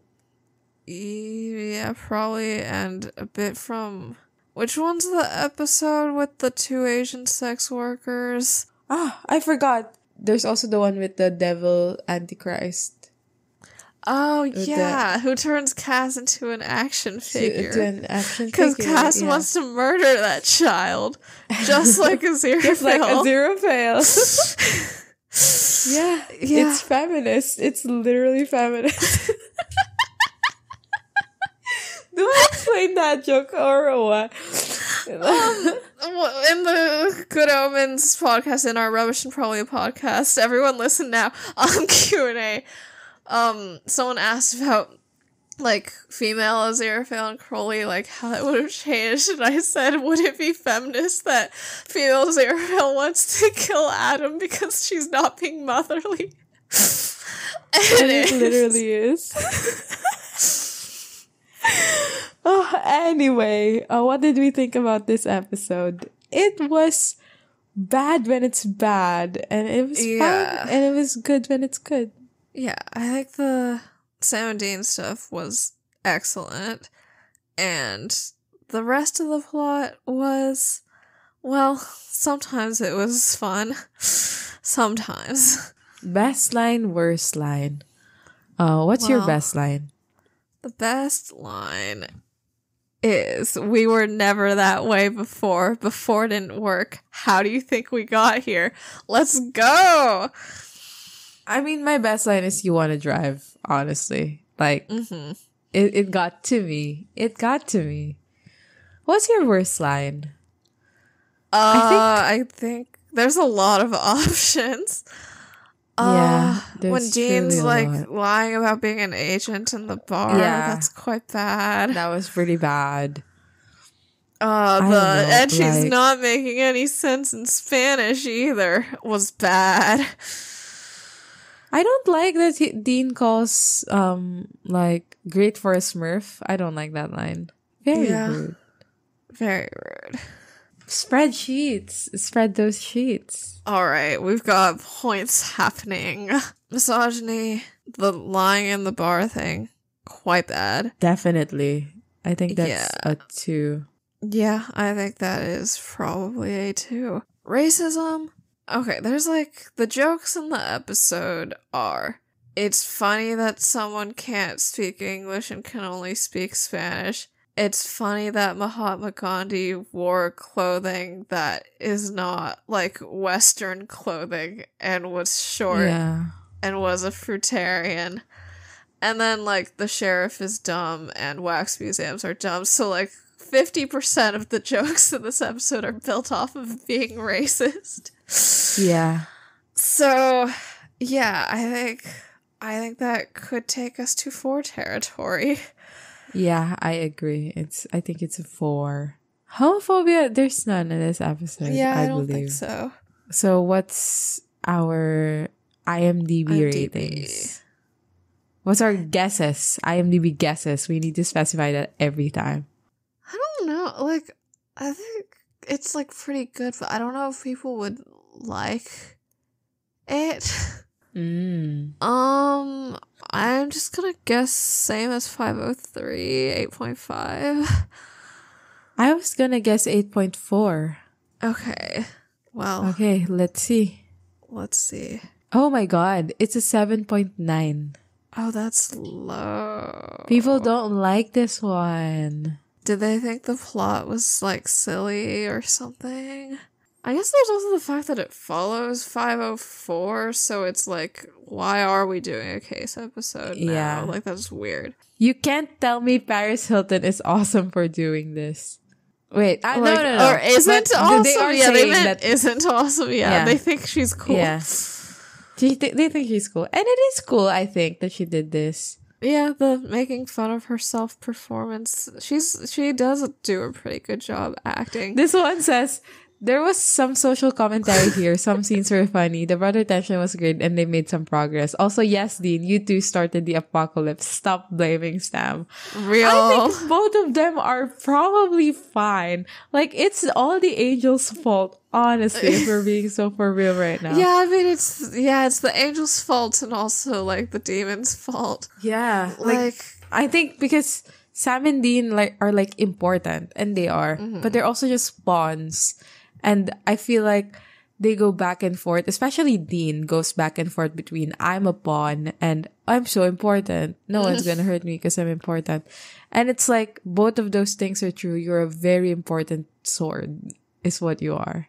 One of these, one of these says, "How sad that even hungry, hungry Gandhi knew that Sam's vulnerable spot was his throat. One of these days, the writers are going to have to address why every single evil thing the boys fight goes for Sam's throat." Is this a pattern? I think you may just be sexually attracted to Sam Winchester. This one says, I really do not understand how this clunker got made in season 5. It's probably the worst episode of the entire series and it has nothing good to say about it. The premise is silly and yet unfunny. The What brother melodrama is forced. It's not scary It's and not. Hilton didn't deserve to be on the show. What? Okay, people do hate women. This one says, It didn't end great in my opinion. What possessed the writers to write such speech for Sam? I have tried so hard to find sympathy for Sam. So according to Sam, because that was what he was saying between the lines, everything is Dean's fault. He Sam literally went to said it's Ruby not Dean's because fault. of Dean. He drank demon blood because of Dean. Then he, with the same breath, he says to Dean that his big brother needs to let him grow up. It was truly ridiculous. Basically, Dean sacrificed himself to save Sam. He died in the four months he was gone. Sam went and became and became demon blood addict. Part of being Boo. adult is taking responsibility for your own actions and not blame your big brother for every single thing you do. Will Sam ever grow up and accept the responsibility for his own actions? literally has been over accepting responsibilities for his actions like the entire like rest of season five so far. He's been apologizing. He's been saying it's his fault. He said it was his fault like explicitly in this episode too. Wow. That's crazy that this is a perspective that people can have. Yeah. Well, I mean, the thing is like, is it entirely Dean's fault? Everything? Obviously not, but like you Yeah, cannot deny the that- yeah that he had a factor. the, the reasons for it. And like Sam explicitly says that like it's my it, fault. like Dean asks, "It's my fault," and Dean and Sam goes, "No, it's mine." Yeah, like it's my fault. We just, but in order to avoid a similar situation, we should like change. Let's not put ourselves Like, in such situations. Yeah, that is like a healthy, helpful thing to say. Wow. Yeah. This is growing up. Like Sam is accepting. Sam kept on saying like he's punishing himself more than Dean will ever punish him. Mm-hmm. Like it's my fault. He keeps on saying like Yeah. ugh, I don't know, whatever. Whatever. I mean, yeah, well, that's it for this episode of Busty Asian Beauties. Next week, we will be discussing season 5, episode 6. I believe the children are our future. Oh, it's immediately the next one. Leave us a rating or review wherever you get your podcasts. Wait, which one is I believe the children are our future? The kid who turns Cass into a toy. Oh, that's that's so funny. Okay.